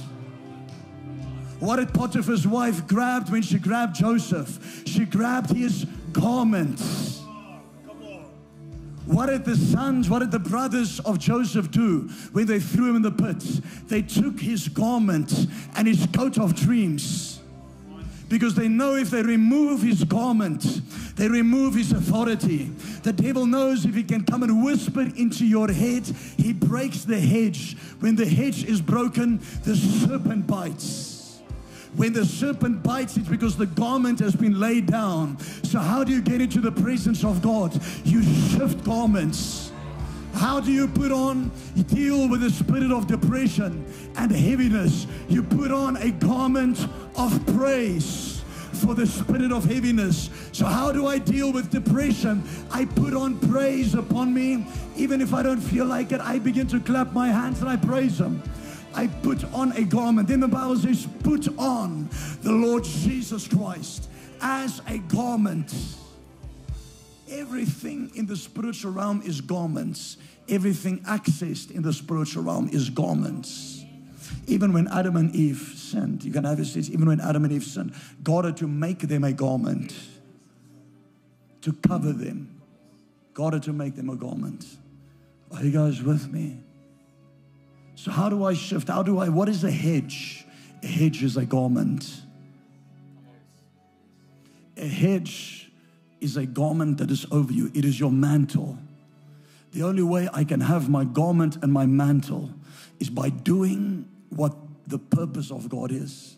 The Spirit of the Lord is upon me, is my garment. The Spirit of the Lord has covered me. The Spirit of the Lord is my hedge, and He has anointed me because I preach the gospel. I cast out devils. He has anointed me to do this. What has He anointed you to do? Jesus gave one commandment go and make disciples. Are you guys with me? Go and make disciples, whatever it is in your workplace, in your business. I'm not even saying it must be an e group, just who are following your words and becoming more like Christ because of you. Who can you minister the words of life and give the waters of life to? Who can you minister and give the fountains, the river of life to, so that the river can increase. Because the further you go out of the temple, meaning the more people you reach, the deeper you get into the river, the more gifts will be given to you. Gifts are not given only for believers, it is to build the church. It is to establish the church. It is when unbelievers come into the church that gifts can be ministered unto them. Gifts are weapons in the spirit. So if you have a gift of healing, it is a weapon in the spirit. It is used to lead somebody to the Lord. When you have the gift of prophecy, it is a weapon in the spirit. It is to strengthen the church also. Are you guys with me? So gifts are given, but if I don't use it, I lose it. If I don't use the anointing, I lose the anointing. So when we pray, those who feel they need a fresh touch and you have the whole church coming out, guess what? Because they lost the anointing. The anointing upon not the anointing within. The anointing within will abide with you forever. Are you guys with me? But unfortunately, the anointing within is not the anointing we feel. The anointing upon is the anointing we feel. So you need to feel great, feel good. Joyce Meyer wrote a book. What was the name? Feel great, look, look great, feel good, something like that. And that's all good. But there's one thing that'll make me look feel or look great or feel good. It is the anointing that is on me. Not do this one thing and do this confessions and no no no. It is the anointing, the spirit of the Lord. Please, I'm not speaking about you against Joyce Meyer. I'm just using her book title. Are you guys with me? The anointing that rests upon me with what? To do his purpose. The anointing will make you see. The anointing will make you see your future. The anointing will give you life. The anointing will cause you to pray for people, and rivers of water will come out of you. But it depends are you doing what you're called to do? What is the calling? Say with me, nations. Say, discipling nations not discipling a neighborhood only, but discipling nations. Meaning, if Jesus says, Go and make disciples of all nations, that was not just given to some, it was given to everybody to go and fulfill it. Are you guys with me? The only way Jesus is coming back is not coming back after a great revival. That is the wrong gospel that has been preached. He's coming back when the church is a full, mature man, perfect, every part working together, without spot, without blemish, a perfect man grown up. So when the church occupies and takes over and multiplies and grows, Jesus is coming back for that church. He's not coming back for a once off revival or the kingdom of God being preached throughout the. Oh, no, no, no, no, no. That has already been done in AD 70. He's speaking about the, the, the, the church becoming a full, mature man, taking over and occupying the world. How do I do it? I invade my business, I invade my workplace with the idea, the mantle, the Spirit of God upon me, my garment upon me. Meaning, what is your garment? So why do you come to church? We come to church to get a to get a, our garments shifted, so that when we can go out, there's no gap in the hedge. There's no thought or suggestion coming into our heads where the enemy can come in. Because how did he take Job's life? Job said, The thing that I feared came upon me. So the enemy put thoughts of fear into his head and he grabbed that fear and it became part of his heart. And what he feared came upon him. What you think, you will become. As a man thinks in his heart, so is he. You are a product today and a sum total of your thoughts of yesterday. Stand your feet, stand your feet wherever you are. Are you guys with me? So there's so much to preach on Eden. But we've done two weeks of it. So with the rivers of living water. I'm not going to go much later. It's already almost eight o'clock.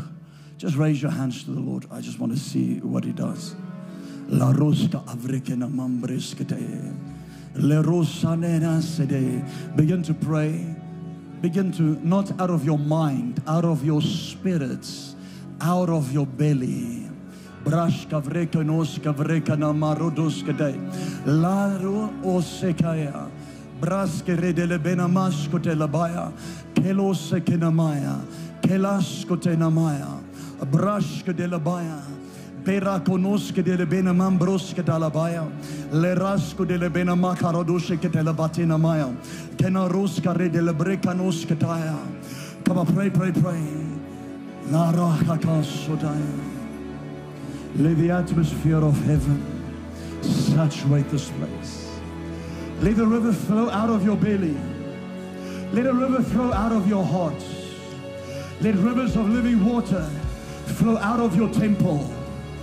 Let rivers of life be completely drunk in the river.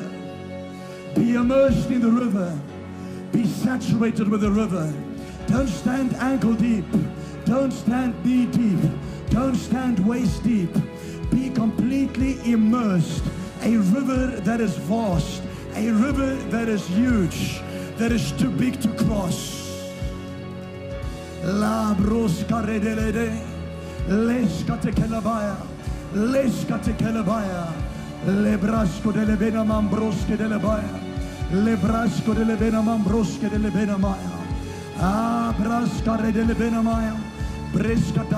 So what did I do tonight? I rebuked the lack of hunger so that you can have hunger.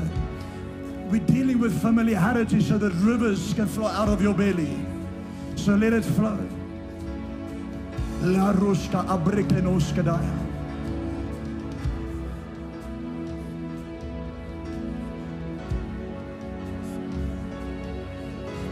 Don't wait for the band or musical instruments. Let river flow out of your belly. Let it flow out of your belly. Get into the spirits, not into the natural. Once you are in the spirit, you begin to see things. You begin to see the impossible. You begin to see the invisible.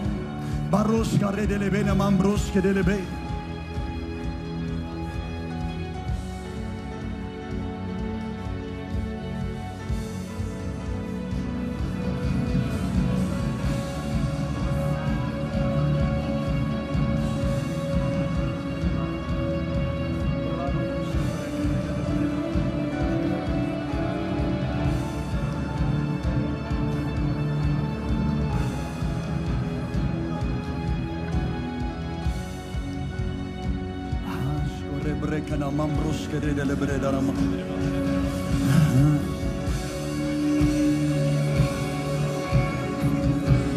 Haroska redelebreka na mambroske delebena maya. Seranaya.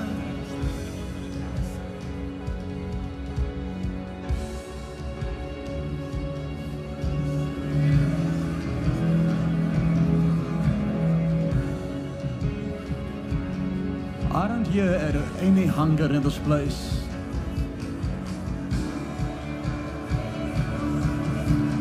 I hear your spirits being flat. I don't hear your spirits being full. Don't beg God. Express God. Don't beg Him. Don't beg God. Express God. Don't try to get filled. Release. It is not about being filled with the Holy Ghost. It is about releasing the Holy Ghost. It is about releasing rivers out of your belly. La maya. O braska redele bena makalodoske dele bena mambroske dele baya. Le karoska redele brekana mambroske dele baya. Baroska redele bena masko dele bena maya. Brasco delle benamaya. Peradoske delle benamambrioske delle benamaya. Zedana sedede.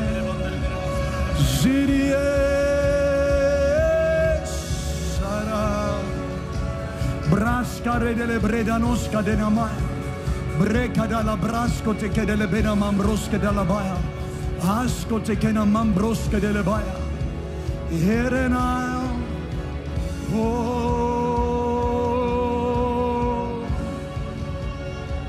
Brakana mosca delle bere babroske delle bere maya. Resca rilevando cadena mambroske daya. Recasco tekena maya. Come on, let the river flow. La Ruska de Levenamaya. Zirie.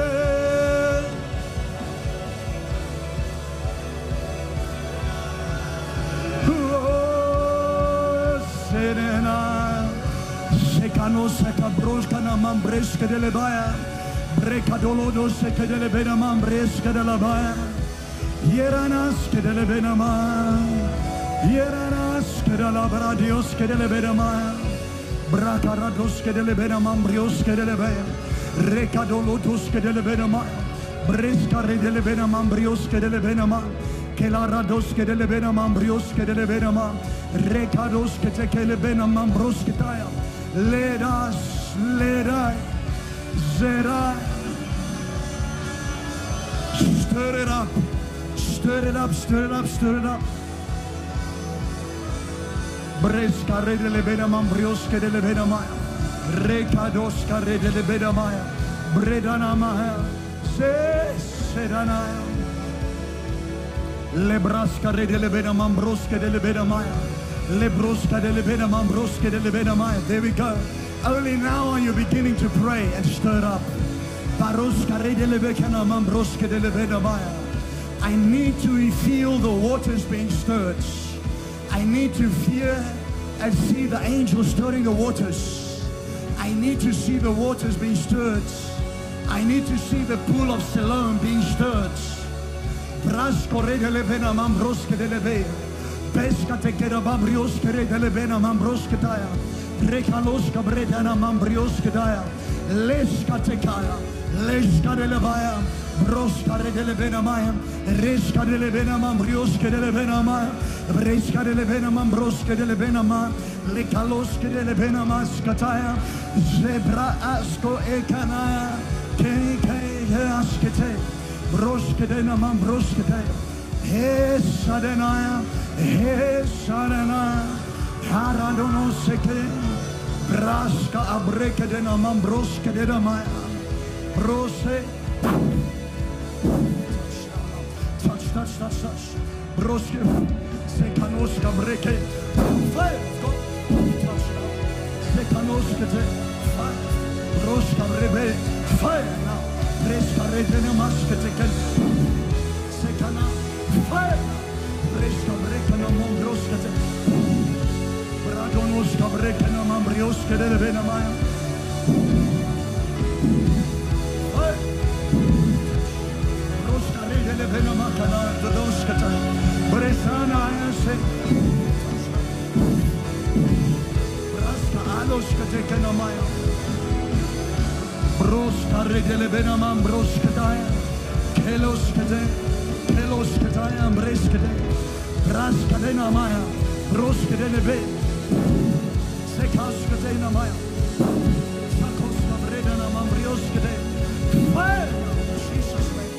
Jesus name. Baroskete kenamam broskete lebaya. Reska de lebena mambrioskete lebe. Lebraska de lebena mambrioske de lebaya. Veroska re de lebena mambrioske te kenamaya. Sabroska de lebena maya. Sabroska re de lebena mam. Sekana mambroska re de lebena mam. Seka. Sebroska de lebena mam. Breska de. With on your faces, no depression. I don't want us to ask it in Amaya. Sebraska de. Nebroska de lebena mam. Broska de lebena maya. Broska de kena mam. Broska de lebena maya. Sebradanas kete. Lebroska de. Broska de lebaya. Leska tekina maroska bredana maya. Bredana maske de lebena maya. Zebraske de lebena marodoska bre. Fasketena. Sadoska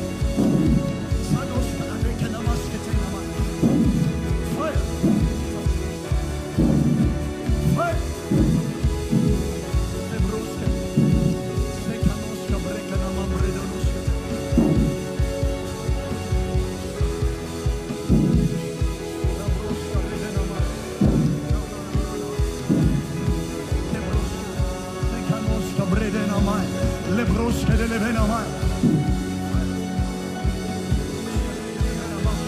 Frère, frère, frère, frère. Non, attention. Brosca de lever la main, brosque d'aise.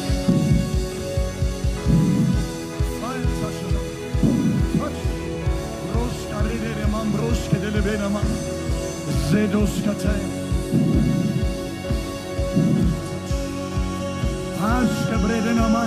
There you go, there you go, there you go, there you go, there you go.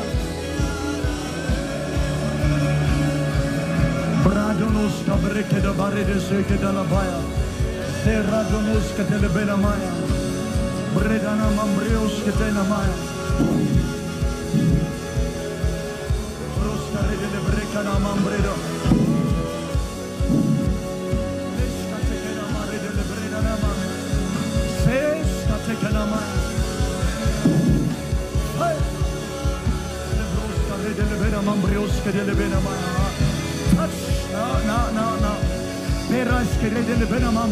Te. Fresca nena nosca de le bena maya. Hey!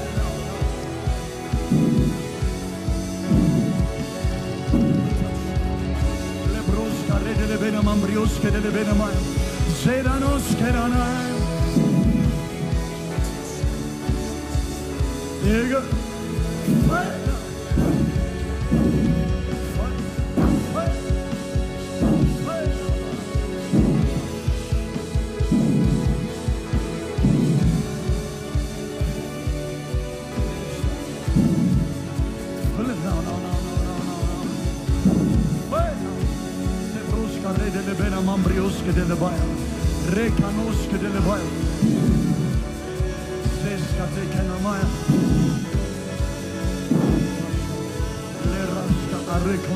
reconosca brede de benamaya, harusca a brecina mambri diosca daya, lesca de le bena mambrosca de le benamaya, recaradosque de le benamaro dosque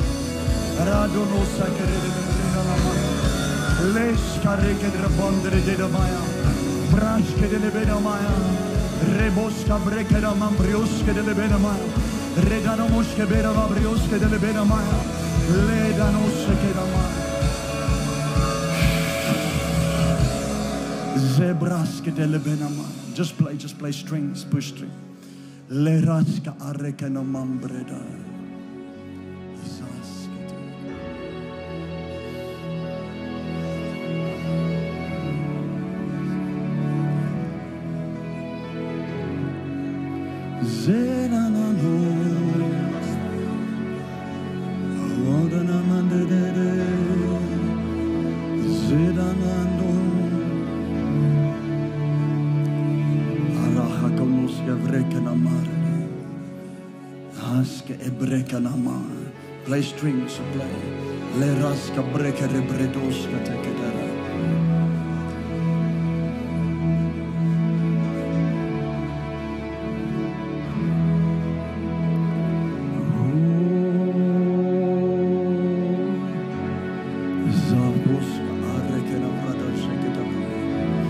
Brekanuska ridele brekarado sheketa bayetena ma.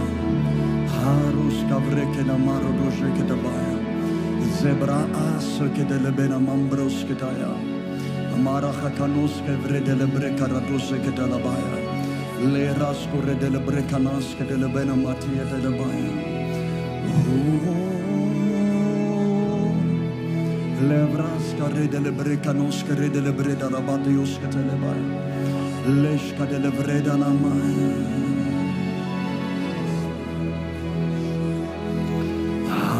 namaya. Asko teke breda le breda namanda. Sedanande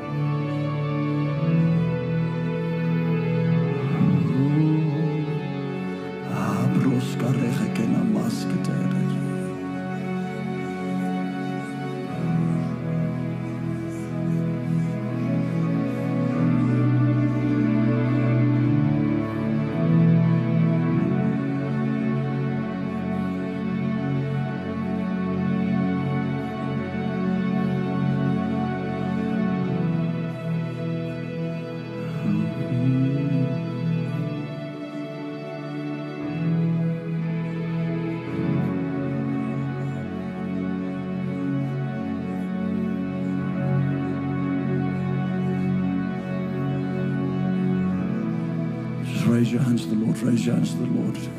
Do you know that song, Out of My Belly?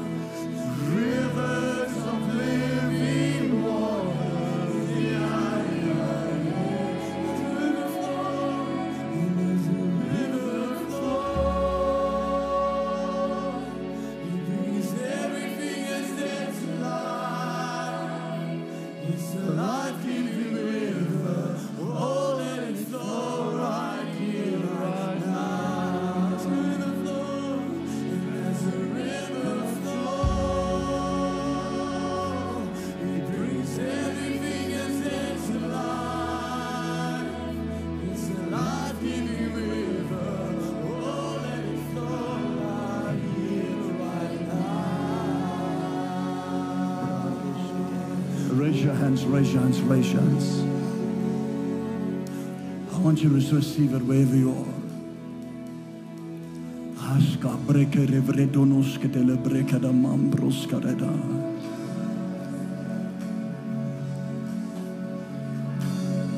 Remember, as you, as, your you- as you have your hands raised, it's a spiritual thing. The river is a spiritual thing. It's not in your mind. Many tapped into it. Some kind of like still looked around, don't understand. They're in their minds. You're not in the river.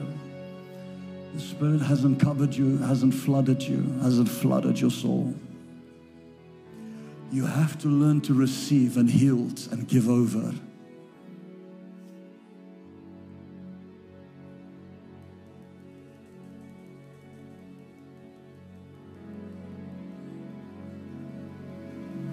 As you are standing like this, just focus on Him. Just want to say three things as you're focusing on Him. Job's defense was three things it was his mind, his thoughts, it was his heart, and it was his money. The devil could get him to stop giving to God, affected the hedge. It was his thoughts that brought fear in. That he said, The very thing I feared came upon me. You know, in the Garden of Eden, everywhere from Genesis to Revelation, there's always something we cannot touch that belongs to God. In Genesis, it was the tree of knowledge. In the middle of the garden, not cannot touch it. It belongs to God.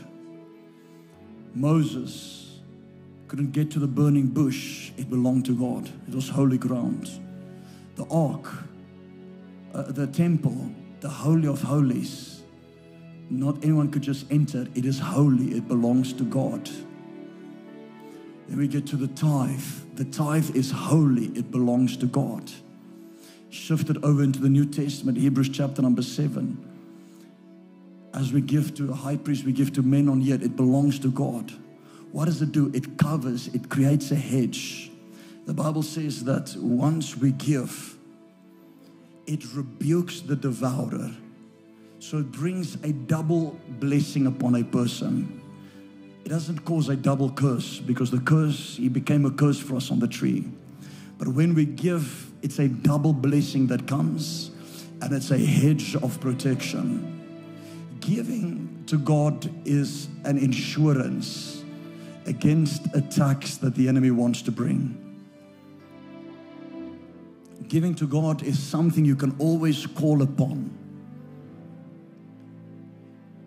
Giving to God is something you can always refer to when you are in a time of trouble. You can say, But God, I did this one, two, three. I need you to deliver me out of this. And a hedge of protection comes. A lot of people become rich without the blessing. And if you're rich without the blessing, money begins to become a curse to a person. But when you have the blessing of the Lord, you become rich. But we don't seek, we don't give to receive the blessing. We give because we are already blessed. I need you to understand this. You give because you are blessed. You don't give to get blessed. The order is wrong. When I give to get blessed, I operate out of law. That is why I never get blessed. But if I give because He blessed me, I now move in the realm of grace in giving and I receive much more. I go beyond the tithe. I give because I am blessed. I give because He made me a blessing. I give because I know I, I serve a God. I am the child, the son, the daughter of a, God, of a king who owns the cattle on a thousand hills and the silver and the gold that my inheritance with the Lord is great, that I have spiritual blessings. So I give out of a realm of blessing with a cheerful heart. What did we do right now? We worshiped, but we worshiped in the spirits. We worshiped with, with, with, with intimacy. So we created an altar. When an altar is created, it is good to give you know, a lot of times we do the giving in the middle of praise and worship, and it's okay. But many times I try now to do it during a service or after a service at a place where an altar is created. Because in the spirit, when you give into an altar in a moment of time or in a moment of a service, there's a reaping that can take place because of the spiritual dynamics that is taking place in that service. So, what has happened? We worshiped, we built an altar we created an altar. We created an altar. So when we give into this atmosphere, you are the place of faith. When you give, I'm not here to preach even on giving. I just want to encourage you that it is time to give. I want you to give out of the fact that you are blessed. When you give out of the fact that you are blessed, you now proclaim you are blessed. When you proclaim you are blessed, it is the blessing of the Lord that makes one rich and adds no sorrow. When I give because I want to get blessed, I actually proclaim I am not blessed. That is why I don't get rich. So when you give, give out of a place to say, I give because I am blessed. The devil cannot touch a blessing. I want you to understand the devil cannot steal a blessing. One of the stones that was not given to him was the stone of God, which means good favor and blessing. Are you guys with me? The one thing Satan doesn't have is a blessing. He cannot bless you. Only God can bless you. Every good and perfect gift comes from the Father above. Satan doesn't have it in him to bless anyone. He cannot bless you with a spiritual gift and He cannot bless you with a blessing. It is the blessing of the Lord that makes one rich. So when I give out of my blessing, what am I doing? I'm decreeing and declaring and establishing that I am the blessed of the Lord. I am the blessed of God. And the devil can never touch a blessing. And people are attracted to the blessing. Oh, are you guys with me? People are attracted to the blessing. If you're ready to give right now, wherever you're standing, and those online, if you're ready to give, you'll see the envelopes in front while your chair. I want to encourage you to take an envelope if you have cash or use the SnapScan, use Zapper, the banking details that is on, and credit cards in the back. And while you're busy giving also, I want you to lift up, once you're ready, I want you to lift up your phone by the way that if you give by phone or lift up the envelope if you're giving into an envelope that is in front by the chair. On the envelope is all these details to scan also. If you're giving by credit card, lift up your credit card. But I want to pray for you. We give not when we are blessed. When we don't give let me say like this we don't give in order to receive a blessing, and we don't give only when we are blessed in the sense that when we think we have money. We give out of principle. The principle are that God has blessed us, and because He blessed us, we give, and then we reap on that reward. Regard. When the enemy sees somebody that is blessed, you see the favor of God rests upon somebody who carries the blessing of the Lord. The blessing is a strange thing. It attracts everything. It attracts favor. It attracts goodness. It attracts finances. It attracts the glory of God. The blessing attracts people. The blessing attracts everything to a person. It is the blessing. When God blessed, God didn't give finances to people in the Bible, He blessed them. He blessed Abraham, and guess what? Abraham became rich. He blessed Isaac. Isaac became rich. He blessed Jacob. He blessed David. He blessed Solomon. What do you require? The blessing. But the Bible says you are blessed. So when you give, it's a declaration to say, I am the blessed of God. So if you're ready to give, just lift up your seat. Let me pray for you. Those online, let us know if you're giving. Let us know if you have given. May God bless you. I see people saying seed sown, seed sown. May God bless you. May He bless you in every area. Sow into this altar. Father, I pray right now in the name of Jesus Christ. May the anointing of the Holy Spirit touch their finances. May the devil know and people know that they are the blessed of God, that they are a blessing and they're giving out of their blessing. In Jesus' mighty name. I pray for your hand and your yod upon their lives. I pray that you'll cover and protect them. I pray for the adir, the hedge, the covering, the garment, the mantle, the authority, the hedge to cover them. I pray that there'll be no gap in their hedge for Satan to come in. They'll not come in through their mind, their thoughts, their fear, their hearts, or their finances. Bless them that their money can become a defense for them. Bless them in a time of recession, I pray in Jesus' mighty name. Bless those who are watching online and giving into this anointing and giving into this altar. Bless those who are giving into this atmosphere that is created. May the blessing of God touch their lives. And by the declaration as they give, may they declare to the devil that they are blessed. I pray for a prophecy reward. I pray for the prophetic reward to come upon their lives. In Jesus' mighty name, we give you all the praise, the honor, and the glory. Amen. Amen. You can come forward and come and give. Thank you so much. You can also go to the back with credit cards if you want to give via that avenue.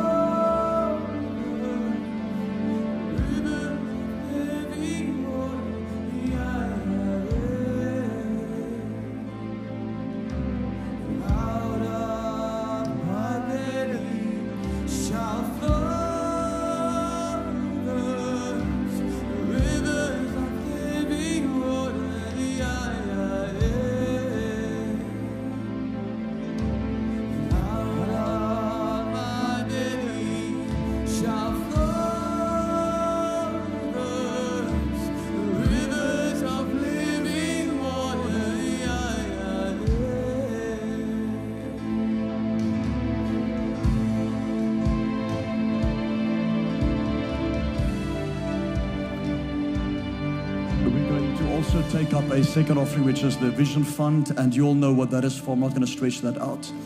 Um, if you're ready to give right now, give any amount. You don't even have to put into the basket. You can also give via this, this ways.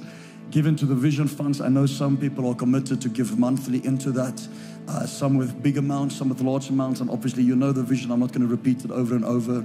You know uh, the projects, kind of like what we're busy with. We'll be revealing it to the church very soon, and it is a huge project, a very big project. We can only do it. We cannot do it outside of the grace of God. We cannot do it outside of the mandate and the purpose of God. We cannot do it outside of that. We can only do it with His blessing. And uh, He will spark in your heart to give towards that. So that is the projects that we're busy with. Um, and the one is 100 million.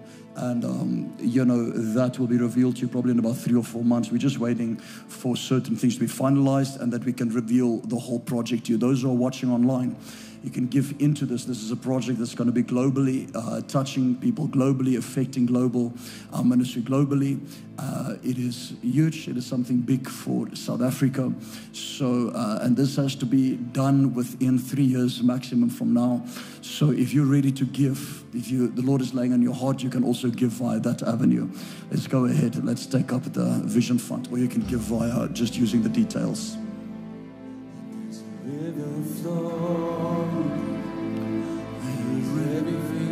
Life.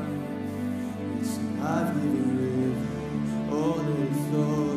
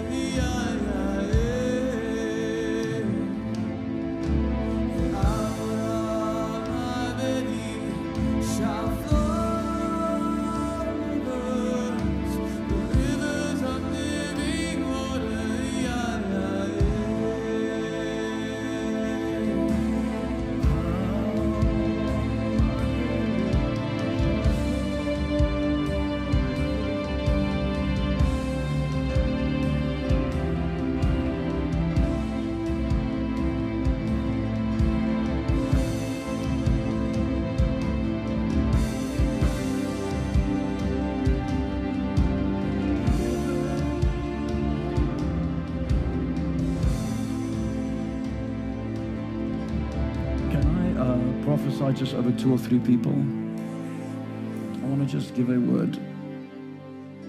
I don't want the church to become familiar. If you're familiar, you're not going to reap from the gift. Um, you're not going to reap from the gift. Let me just hear what the Lord is saying.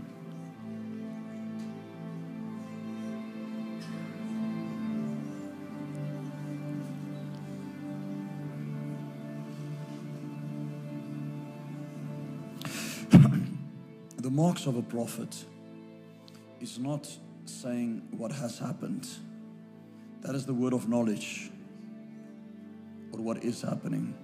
The marks of a prophet is usually predicting something and then it comes to pass. Are you guys with me? The main marks of a prophet. So it is. Uh,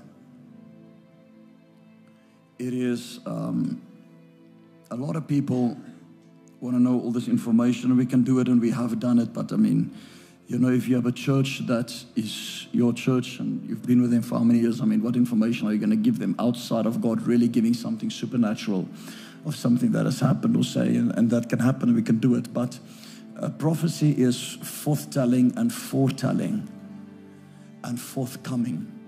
So it speaks the future, it creates the future, and then it manifests the future. Forthcoming.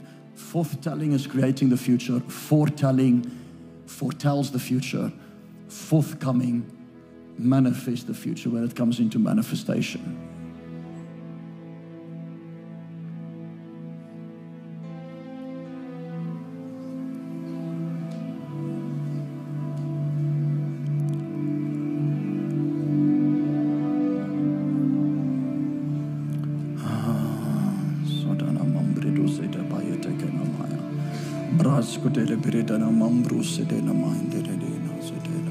Just give me five minutes or so, then we will close off. Just five minutes or so.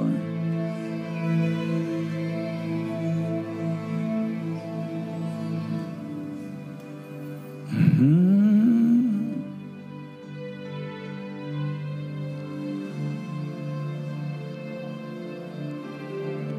Zebros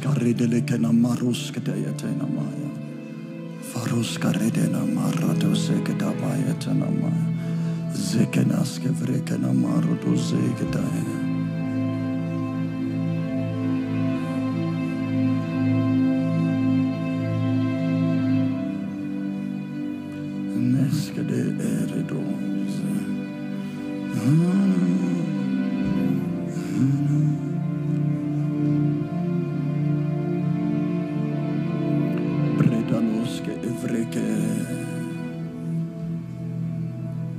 zekedaya. faces don't look like you looking for prophecy, but that is okay.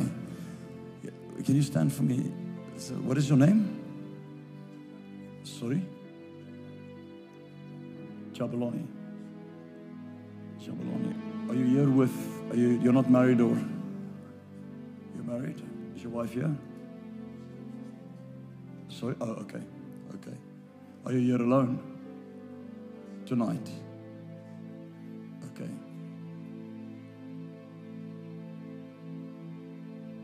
Did I prophesy over you before?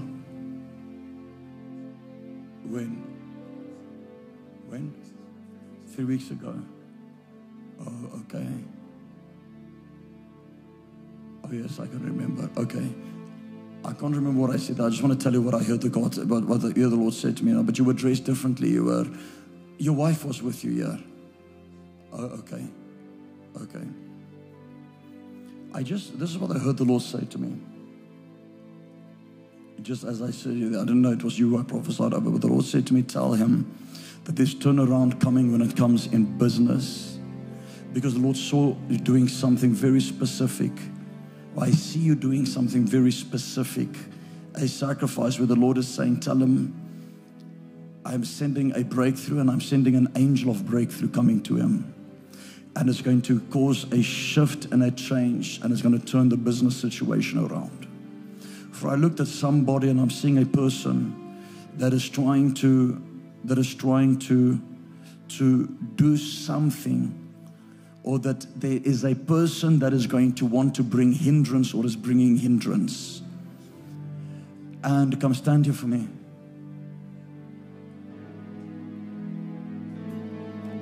This one that is bringing hindrance, it's like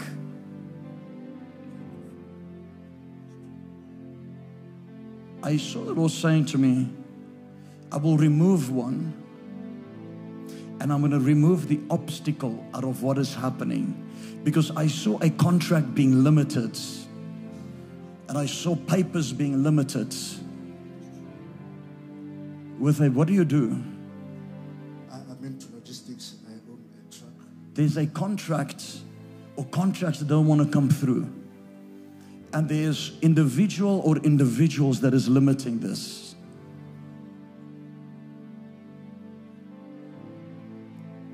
Stretch out your hands, church, and begin, just begin to pray. I'm seeing letters in front of me.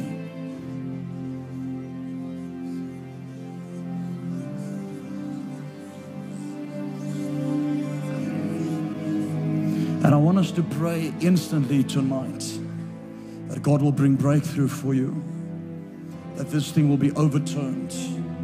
Because I saw something connected to Africa, and I saw a connection to Africa that is going to be expanded.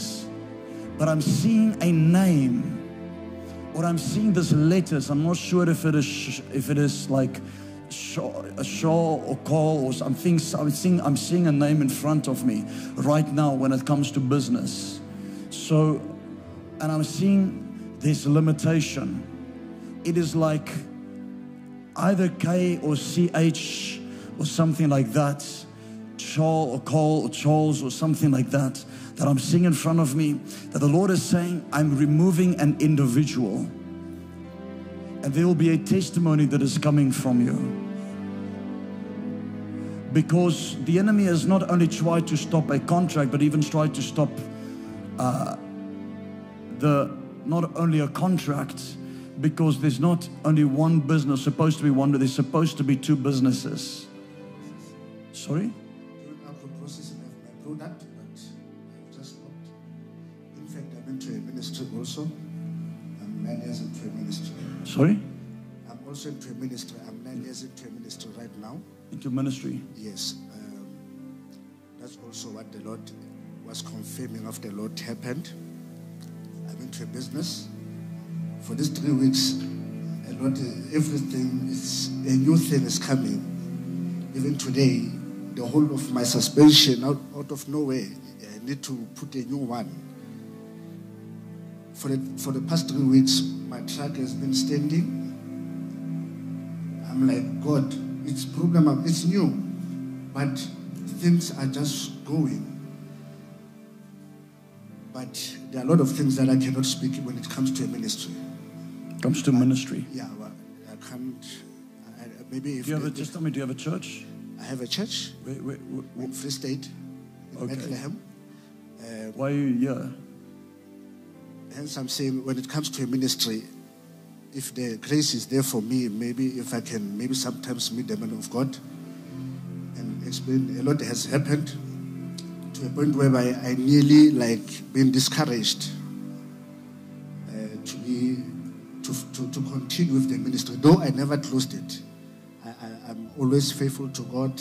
God is using me mightily.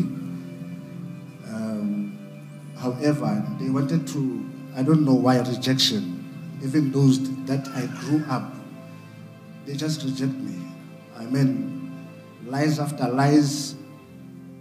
The leaders of the church, uh, I was the senior son who was to take over the ministry from where I was born. It never happened. I came to Pretoria under instruction of God six years ago, before, just before the, uh, COVID 19. Up until it, it was done, and I was called back home as the Lord spoke to take over because my spiritual parents are, are old now. Then they called me to move in. I went in, I moved in with my family. What I was supposed to do, it never happened because I was fought like every side, lying and lying up until one day I was told to lay low and I refused to lay low. I just said, okay, let me be an usher. Then they, they just sat me out. I only found, because I'm a dreamer, I'm a prophet, when God revealed to me about the people that were busy, that I will help. I don't know, was it a, a, a power hungry or what? Then the Lord said I should just step back. I never said anything, I just kept quiet. But my parents, they just abandoned me. New people, they just came. I, I don't know what happened. So, even in my walk with God since the ministry, I was never mentored the way I was supposed to. I was just led by the grace of God. And it was very difficult because where I have a ministry, it's my hometown. I was fought by everyone. I'm a false prophet. I'm using this and that and whatever and whatsoever. Until the Lord said, okay, now a time has come to leave Bethlehem. Then I was showed Pretoria. I just came to Pretoria not knowing what's going to happen. Though I never shut the ministry in Bethlehem, I moved in order to expand the ministry. Not running away from the rejection, but I understood why I was rejected because of what the Lord is putting is placed in my life. Well, by the time I was supposed to start the ministry, they fought me in my home. I don't know whether it was a threat, saying that I'm going to take people from home into my ministry. It even it was spreading all over that I've already opened a ministry, though I didn't, not yet. I had to stop in order to prevent this storm that was coming, more especially from my home. Then I was lost. I'm all alone. At some point, I'm a giver. I have a good heart. I have, there are one, two people here that knows me well from my previous home, how I operate, and I've been small in my own eyes. However, I end up saying, let, let me just quit about the ministry and focus into my business for to, to sustain my family. God, the Lord has blessed me with beautiful twin girls. They're seven years now. My wife, she's still studying. She's doing vet. I'm, I'm the one who's paying her varsity study uh, education. But I was discouraged in, into a ministry. I said, Lord, if this cup should be removed from me and just be a normal person, I'll be happy because things are not going well.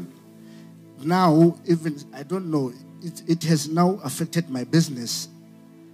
I have money, it goes. Even my driver today said, you know what? When we celebrate something that we fixed in the, in the truck, something that is bigger than a celebration that will demand more comes. Up until I, am I'm like, Lord, you, you are the one who knows. But I, I'm, I cannot fall from the grace. I've encountered Jesus. I, I, I s- I s- uh, the way I've encountered Jesus, it, it, won't, it won't be easy for me to fall from the grace. That is why I, I, it took time for me to take a step and ask God, where can I go? I can't just sit. I travel to maintain my ministry in Free State. But I, I, I knew that God wanted me to do something here. I was afraid because people have disconnected from me, more especially from where I came from. I, I feel the arrows that are hitting me. I once stayed in the street. I was saved while I was still in the street. I served in the ministry while I was in the street. I never asked for an accommodation and everything. But the Lord transformed me up until now. I have my home, though I'm renting a townhouse in uh, Pretoria East. They witnessed how I was doing, on, especially on my work with God, starting to be introduced into the gospel. I lived in the streets. Um, I was never raised by my mother and my father. Was rejected up until, in fact, when my mother was find out she was pregnant, they tried to, to terminate the pregnancy with the help of my grandmother. But the Lord rescued me. I, I never enjoyed life since I was born. Everything I have to, I get it very hard. At some point, I don't know how I, I got where I am today. However, people will just accept me for, for some time. Suddenly, they will reject me. When you talk about the contract, I'm supposed to sign a contract with Sasol, which is my breakthrough.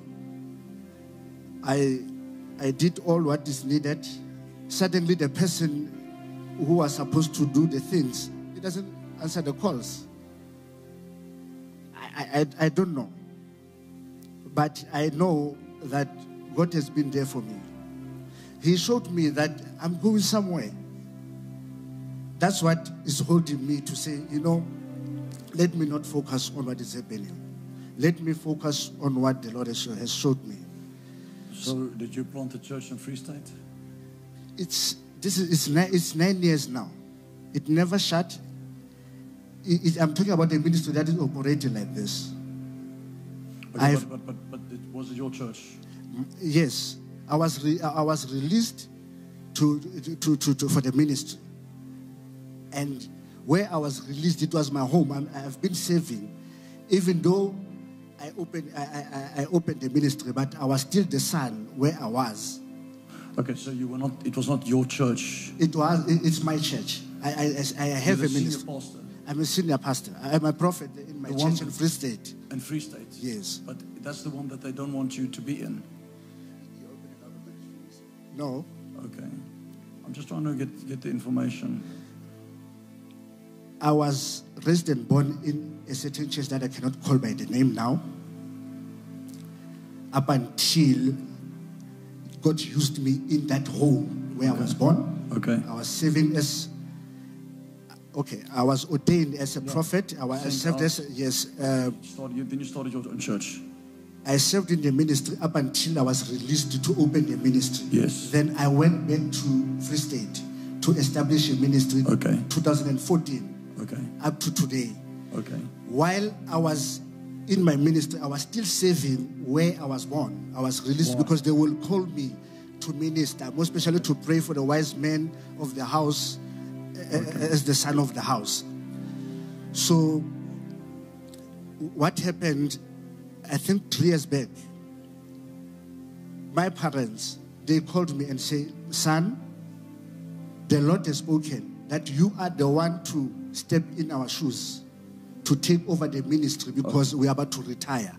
They called me to go back home. Okay. But yet the ministry was still busy because I left people that I, I, I, I, I, I, I grew up to uh, into the ministry. Yeah. I left them with my ministry. I obeyed the voice of God. I went back home to serve on what the Lord has said. I went home. But what amazed me is when I got home, the things that I was supposed to do as I was told, they uh-huh. never. Why? Because my home was already having sons who were saving. So they were fighting me, these sons. Everyone Okay. So, so, and your church is still going or not? It's still going even today. It never, it never shut. Even after Okay. When I left. somebody my- else running it now. Yes, Okay. You still overseeing it or not? I'm still overseeing it. These three weeks that I came, first time I came as a visit. Like I was at home, I, I was like, God, where can I? I feel like I can go somewhere where I don't know where I can worship. By the grace of God, the Lord instructed me here. I came here. I asked one of the lady here who know who, who knows me from home, who can testify about me. I just said because he, she told me that okay, she found home. In fact, a lot of people were offended. They left the church after they've learned of what they did to me. Then I said, sister, sister, send me the location. I want to come to church just to, to fellowship. I came with my wife. That's when the Lord spoke uh, through you. So since the Lord spoke week, three weeks ago, I was maintaining that thing to say, Lord has He never forsaken me. He's reminding me not to forget the ministry because I was like, even the ministry in Free State, I decided to like to shut it. I was, I was in a point of just shutting it down out and forget about the ministry. Because imagine when your home is has abandoned you for no reason. I was like, God, have you removed the mantle or what? So after I received the prophecy, I told myself, let me maintain until something happens. That is why I, I, I sacrificed not, not to, to go for these three weeks. I told myself I will attend encounter for a month to, to feed my, my soul, my spirit, because I was discouraged. That is why I'm here even today. I, I, I started to follow Encounter and being partner. I'm now a, a partner at Encounter, trying to find a new place called home, new friends, because I, I'm alone.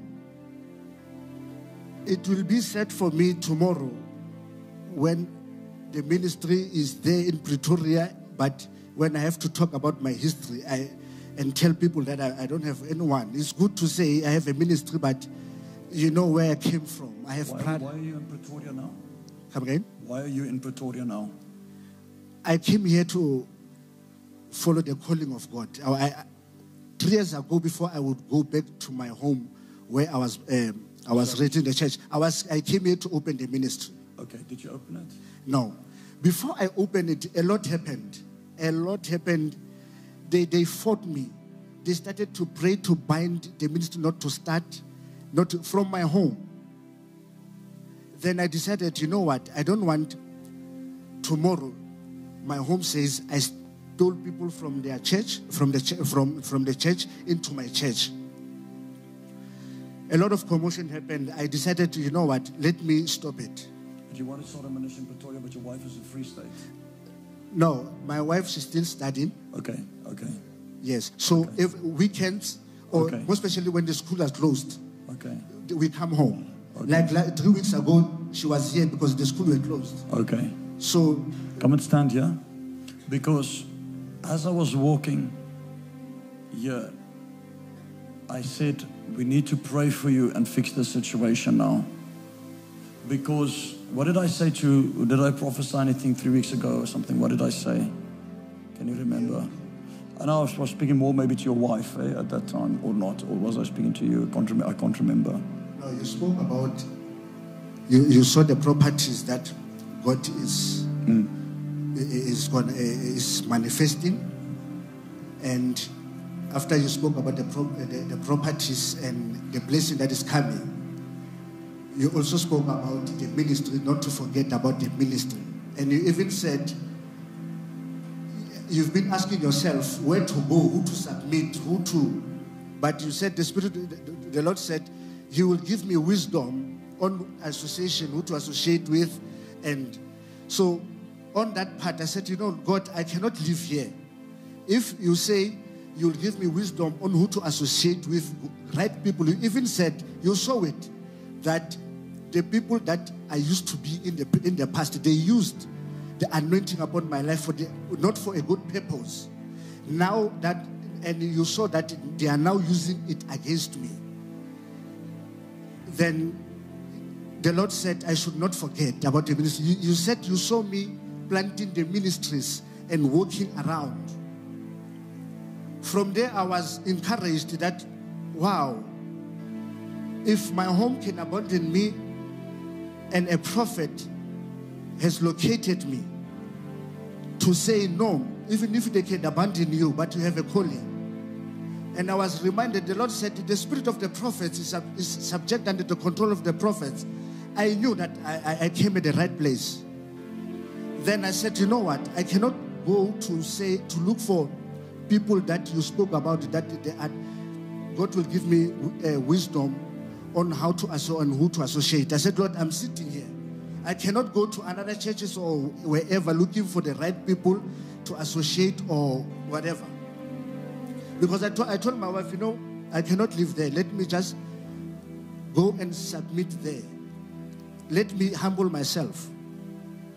Whatever that I have to do to be part of this home, because I believed I was sent by God here. And I waited on God to, and I knew God will do something. I just kept quiet. I prayed. I believed that I felt the anointing, let me say. I'm very sensitive. I, I prayed and said, Lord, is this the man that you have sent me? But if it is so, it, shall, it shall be seen today. And indeed, you spoke. But I said, let me maintain this prophecy where I received it. God cannot release a prophecy and send you somewhere to look. I knew that my blessing is here. I knew that my home is here. That is why I said, I, I won't go to, back to Free State. Let me maintain this until I'm strengthened, I'm filled to do what brought me to Pretoria. I was in Pretoria. When they called me home, I stayed at home. They chased me. I had to come back to Pretoria. By the grace of God, I could manage. Who chased you? I don't know if I have to call it by No, you don't have to say the names, but I mean, is it people from the previous church or is it people from your church? No, the, the people from my home church. Your first church. Okay, okay. Yes. The, the one you submitted to. Yes. Okay. Okay. So let me let me tell you the wisdom of God. Uh, is it okay, church? Don't worry. It's a serious situation. That's why God is pointing him out. He prayed about it. Now you heard his story. I could have picked anybody, but that is whom God has told me to do.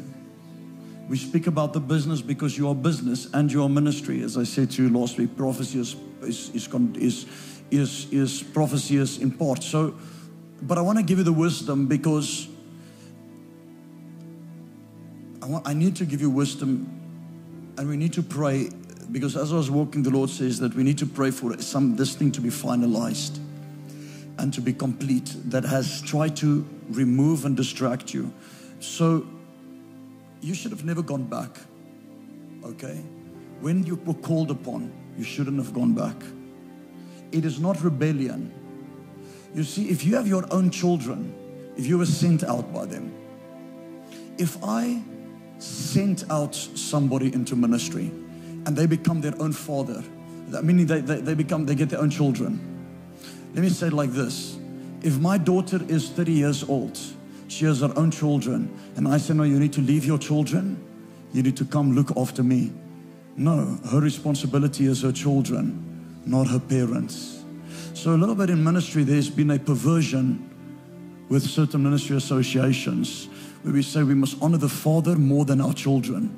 Now, I'm not speaking of somebody that's rebelling out and going to do that without being, but you say you were sent out, you were blessed out, you were released, and you went and planted your ministry. Even after, even after I planted the ministry, now and then I'll be called home to minister. I'll be called home, especially when my, my mom will always say, It's you know, okay to minister, it's okay. But you shouldn't have gone permanently back. Yeah, I, yeah. I'm, I, now I, I get a picture, but y- I know, you I know you don't know because you didn't know what to Yes, do. I didn't know, But, yes. but, and you did the best that you could. But you shouldn't have gone back because God has given you a ministry. regret going back. Huh? I, I, I'm, I'm regretting why I did go It's not back. dishonoring them. or their alive still? Come again? Are they alive still? Yes. Okay, it's not dishonoring them. We're not dishonoring them. We're not speaking of them. They might be great. I, I don't know. I'm speaking now regarding your life. That is all. You shouldn't have gone back there because that's not dishonor or anything like that. You were sent out. If you had to work in a church, you should have stayed there. But I want to pray for something to be finished and turned around that God gives you full clarity. The witchcraft of the people and the name that I'm seeing the whole time in front of me. I don't know why I'm seeing that name. What did I say? Charles or Shaul or something like that, or you know, something like that. And I keep seeing a name, whether it's with business, whether it's with ministry, whatever it might be. But, and I know you're not gonna need to talk right now because this is public and it's it's it's. We don't want to get you into trouble right now. But you're not dependent on them in ministry right now. Okay, so so a spell has been cast that was not supposed to be cast. No one has power over you. No one can tell you what to do. No one can chase you away from anywhere. Nobody has any power over you. We give people power over us because of a lack of knowledge and because of ignorance. We give them power over us. And this is where it has gone wrong because you wanted to honor. You wanted to do the right thing, but there were people that is trying to destroy you. But you need to be lifted because you are an apostle, not a pastor. Yes, prophet, but you have an apostolic gift on you. I need you to understand this one. You think prophet because you feel prophet and you can prophesy and you see the future, but there's an apostolic gift on you that needs to be nurtured, that needs to be brought out because you will have works that you're supposed to be planting. Now, I'm going to pray for you that God does something that He gives you wisdom, that you will be able to have the grace, the health, and the anointing to fix the thing that you had, that He'll give you the grace to bring order there, and He'll give you the grace to plant a brand new work under the blessing of God. Where there will be no regret, no doubt, no witchcraft, no praying. It doesn't matter. Do you know how many people are praying against me? Even today, people are praying against me. Against me. People are taking us to TV. It doesn't affect anything on me. The devil has no power over you. They have never called you. Either God has called you or they have called you. But if God has called you, no man can tell you what to do or to do this or to do that. So people can only break you if they've made you. But you say there's these things, there's incantations and so on. It can get to you because of fear, unbelief, and legal, a bit of legalism. It can get you. Many witches pray against me. Many Satanists pray against me. It has no power. It cannot make me sick unless I believe in that prayer and I believe in that curse. It cannot affect my family, cannot affect my finances, cannot affect my ministry. Because the enemy comes in by the thoughts.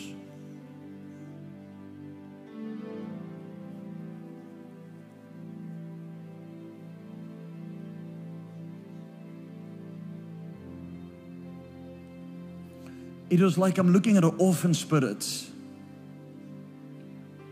or an orphan. And I'm seeing the lack of certain things with its parents or so in a certain area. And I'm seeing because of that, you felt that you had to be so loyal, even to the point of it affecting your health. So the Lord understands these things, but we need to shift and realign things. When I was standing, when I said to you that I saw second business, just before I saw the second business, the Lord said to me, Pray and tell him the truck that doesn't want to move or doesn't move is not moving. Just before I say this, a second business. The second business should not be going right now. The business that you have, the transport should be going. We're going to be praying for that. So, what am I doing? I'm giving now direction and calling. It does, this does not come out of the gift, it comes out of the office. This is not about me seeing something, it comes out of the office, it comes out of speaking. So, I,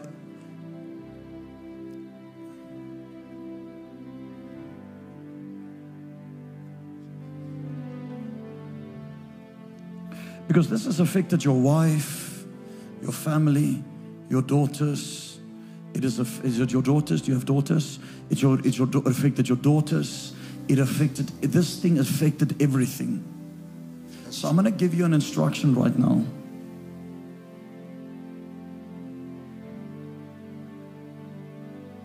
I don't know who that name is, but you can come to me afterwards if you know of anything of that name.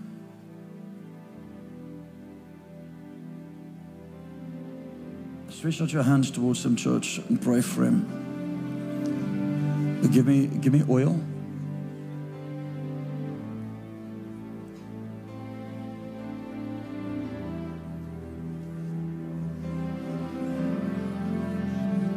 By the power of the Holy Spirit, in the name of Jesus Christ.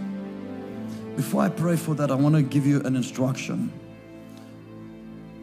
Do you go back to Free State sometimes or not? Yeah, I, I randomly go anytime. Sorry? I, I, I go anytime. Okay. Yes.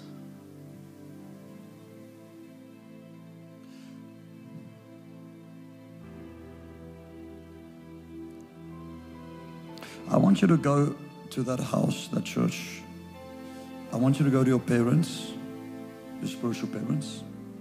I want you to give them a seat. I want to ask you to pray for them to bless you.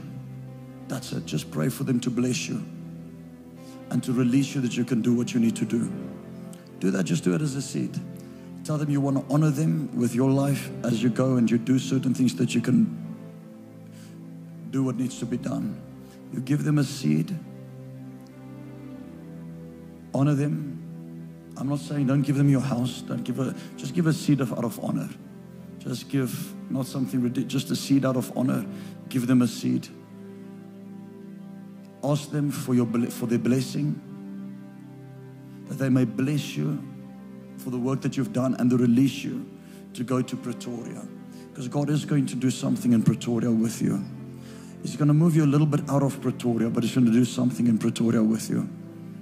And the Lord is going to do a new work with you. And He's going to seal off the things of the past.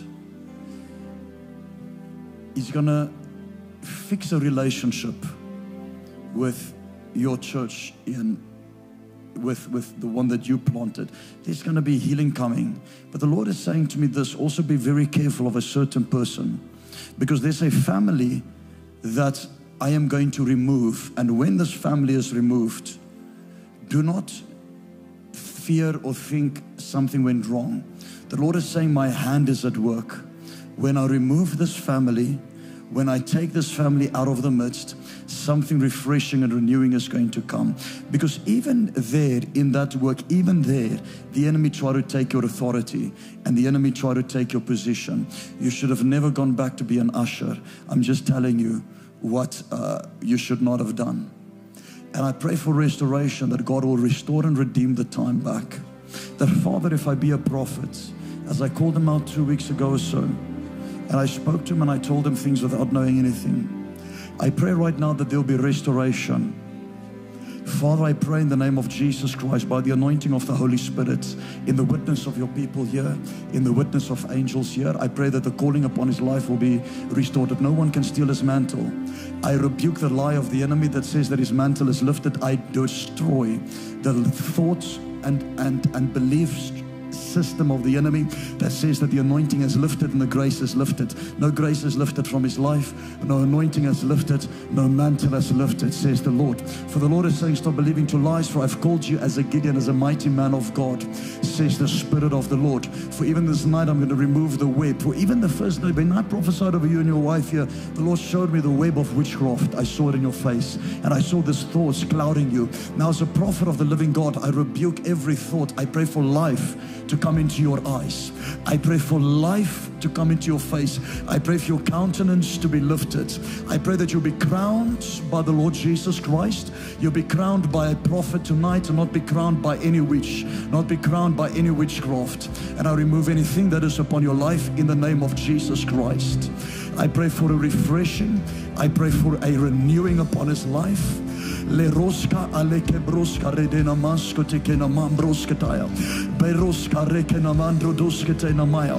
Sabroska redele bena maske tekena mambroska tekena mambroska tena maya. Reska eskete. Broska dele ena kanote de bandre bena maya. Any curse spoken upon his life, we lift it from his head. I pray that freedom be his portion tonight. I pull out the daggers of betrayal.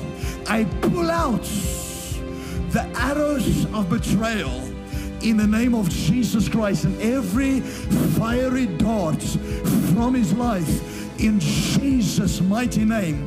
I pull it out from him. I pray that every word that has been spoken and every spell that has been cast, I remove it in the name of Jesus Christ. Set him free this night. Set him free. I pray for an adhere upon him, a mantle, a fresh anointing. A fresh anointing. Lift him up, lift him up, lift him up, lift him up, lift him up, lift him up. Baroska.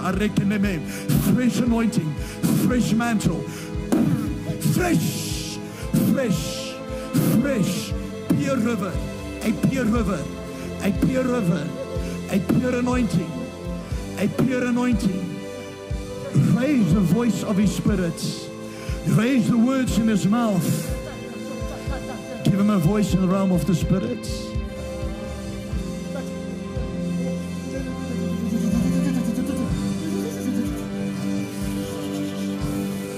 Every spirit, loose him.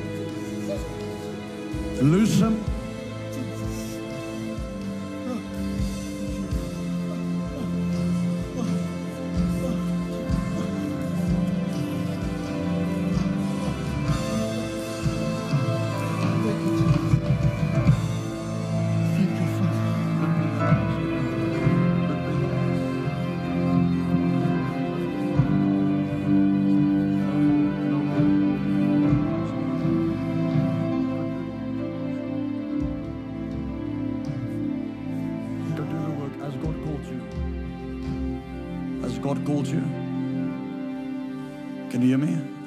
Called you.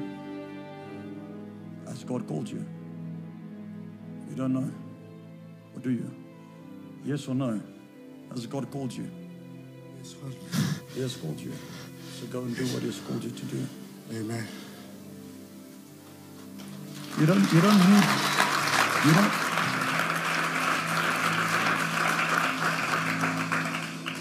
You receive impartation from me. The web that is spun over your mind, I want it to be removed. No more lies of the enemy you believe. There's an anointing in you. And I pray that from this night something will be established, a new grace. Nothing has been lifted from your life. The enemy has tried to blind your eyes and darken your eyes because you just saw fear, and fear, and fear, and fear, even in dreams, fear. In the dreams that would come to him.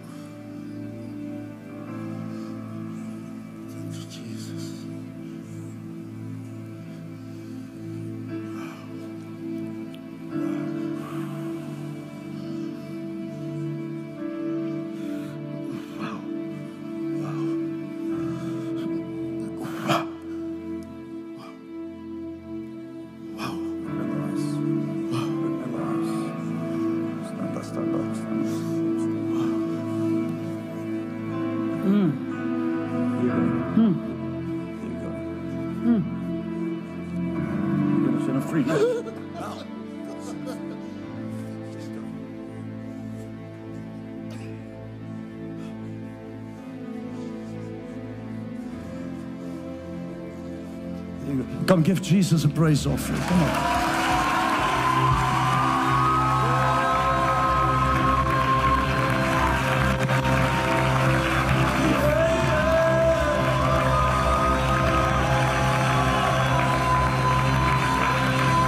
Give Jesus a praise offering. Come on, praise Him, praise Him, praise Him.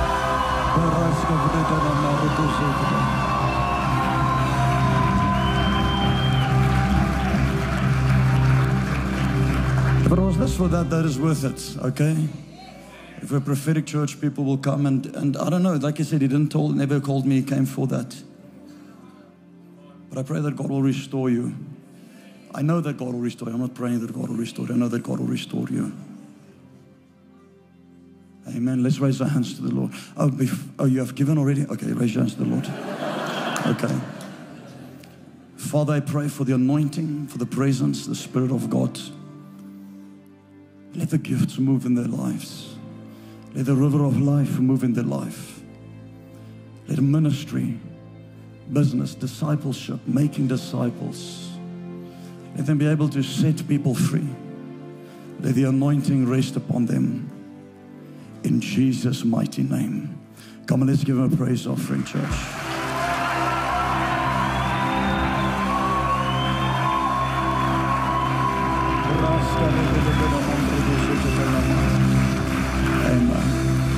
I'm going to see you Sunday for the conference.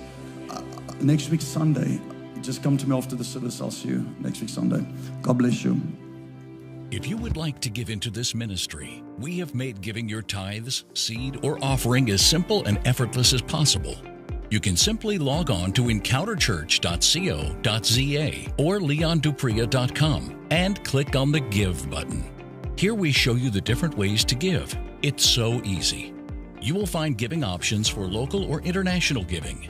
PayFast is a fast and secure way for South Africans to give. You can give once off or make a recurring donation. Here you will find the Zapper and SnapScan QR codes as a simple and effortless way to scan and give into the ministry. If you prefer to make an electronic transfer, the banking details of our various campuses and the Visionary Fund are also readily available. For giving internationally, Cash App is one of our fast and simple giving platforms. PayPal is another method for quick and easy giving internationally. You can use your PayPal account or you can give straight from your credit card. DonorBox is also available, which accepts a variety of international giving methods.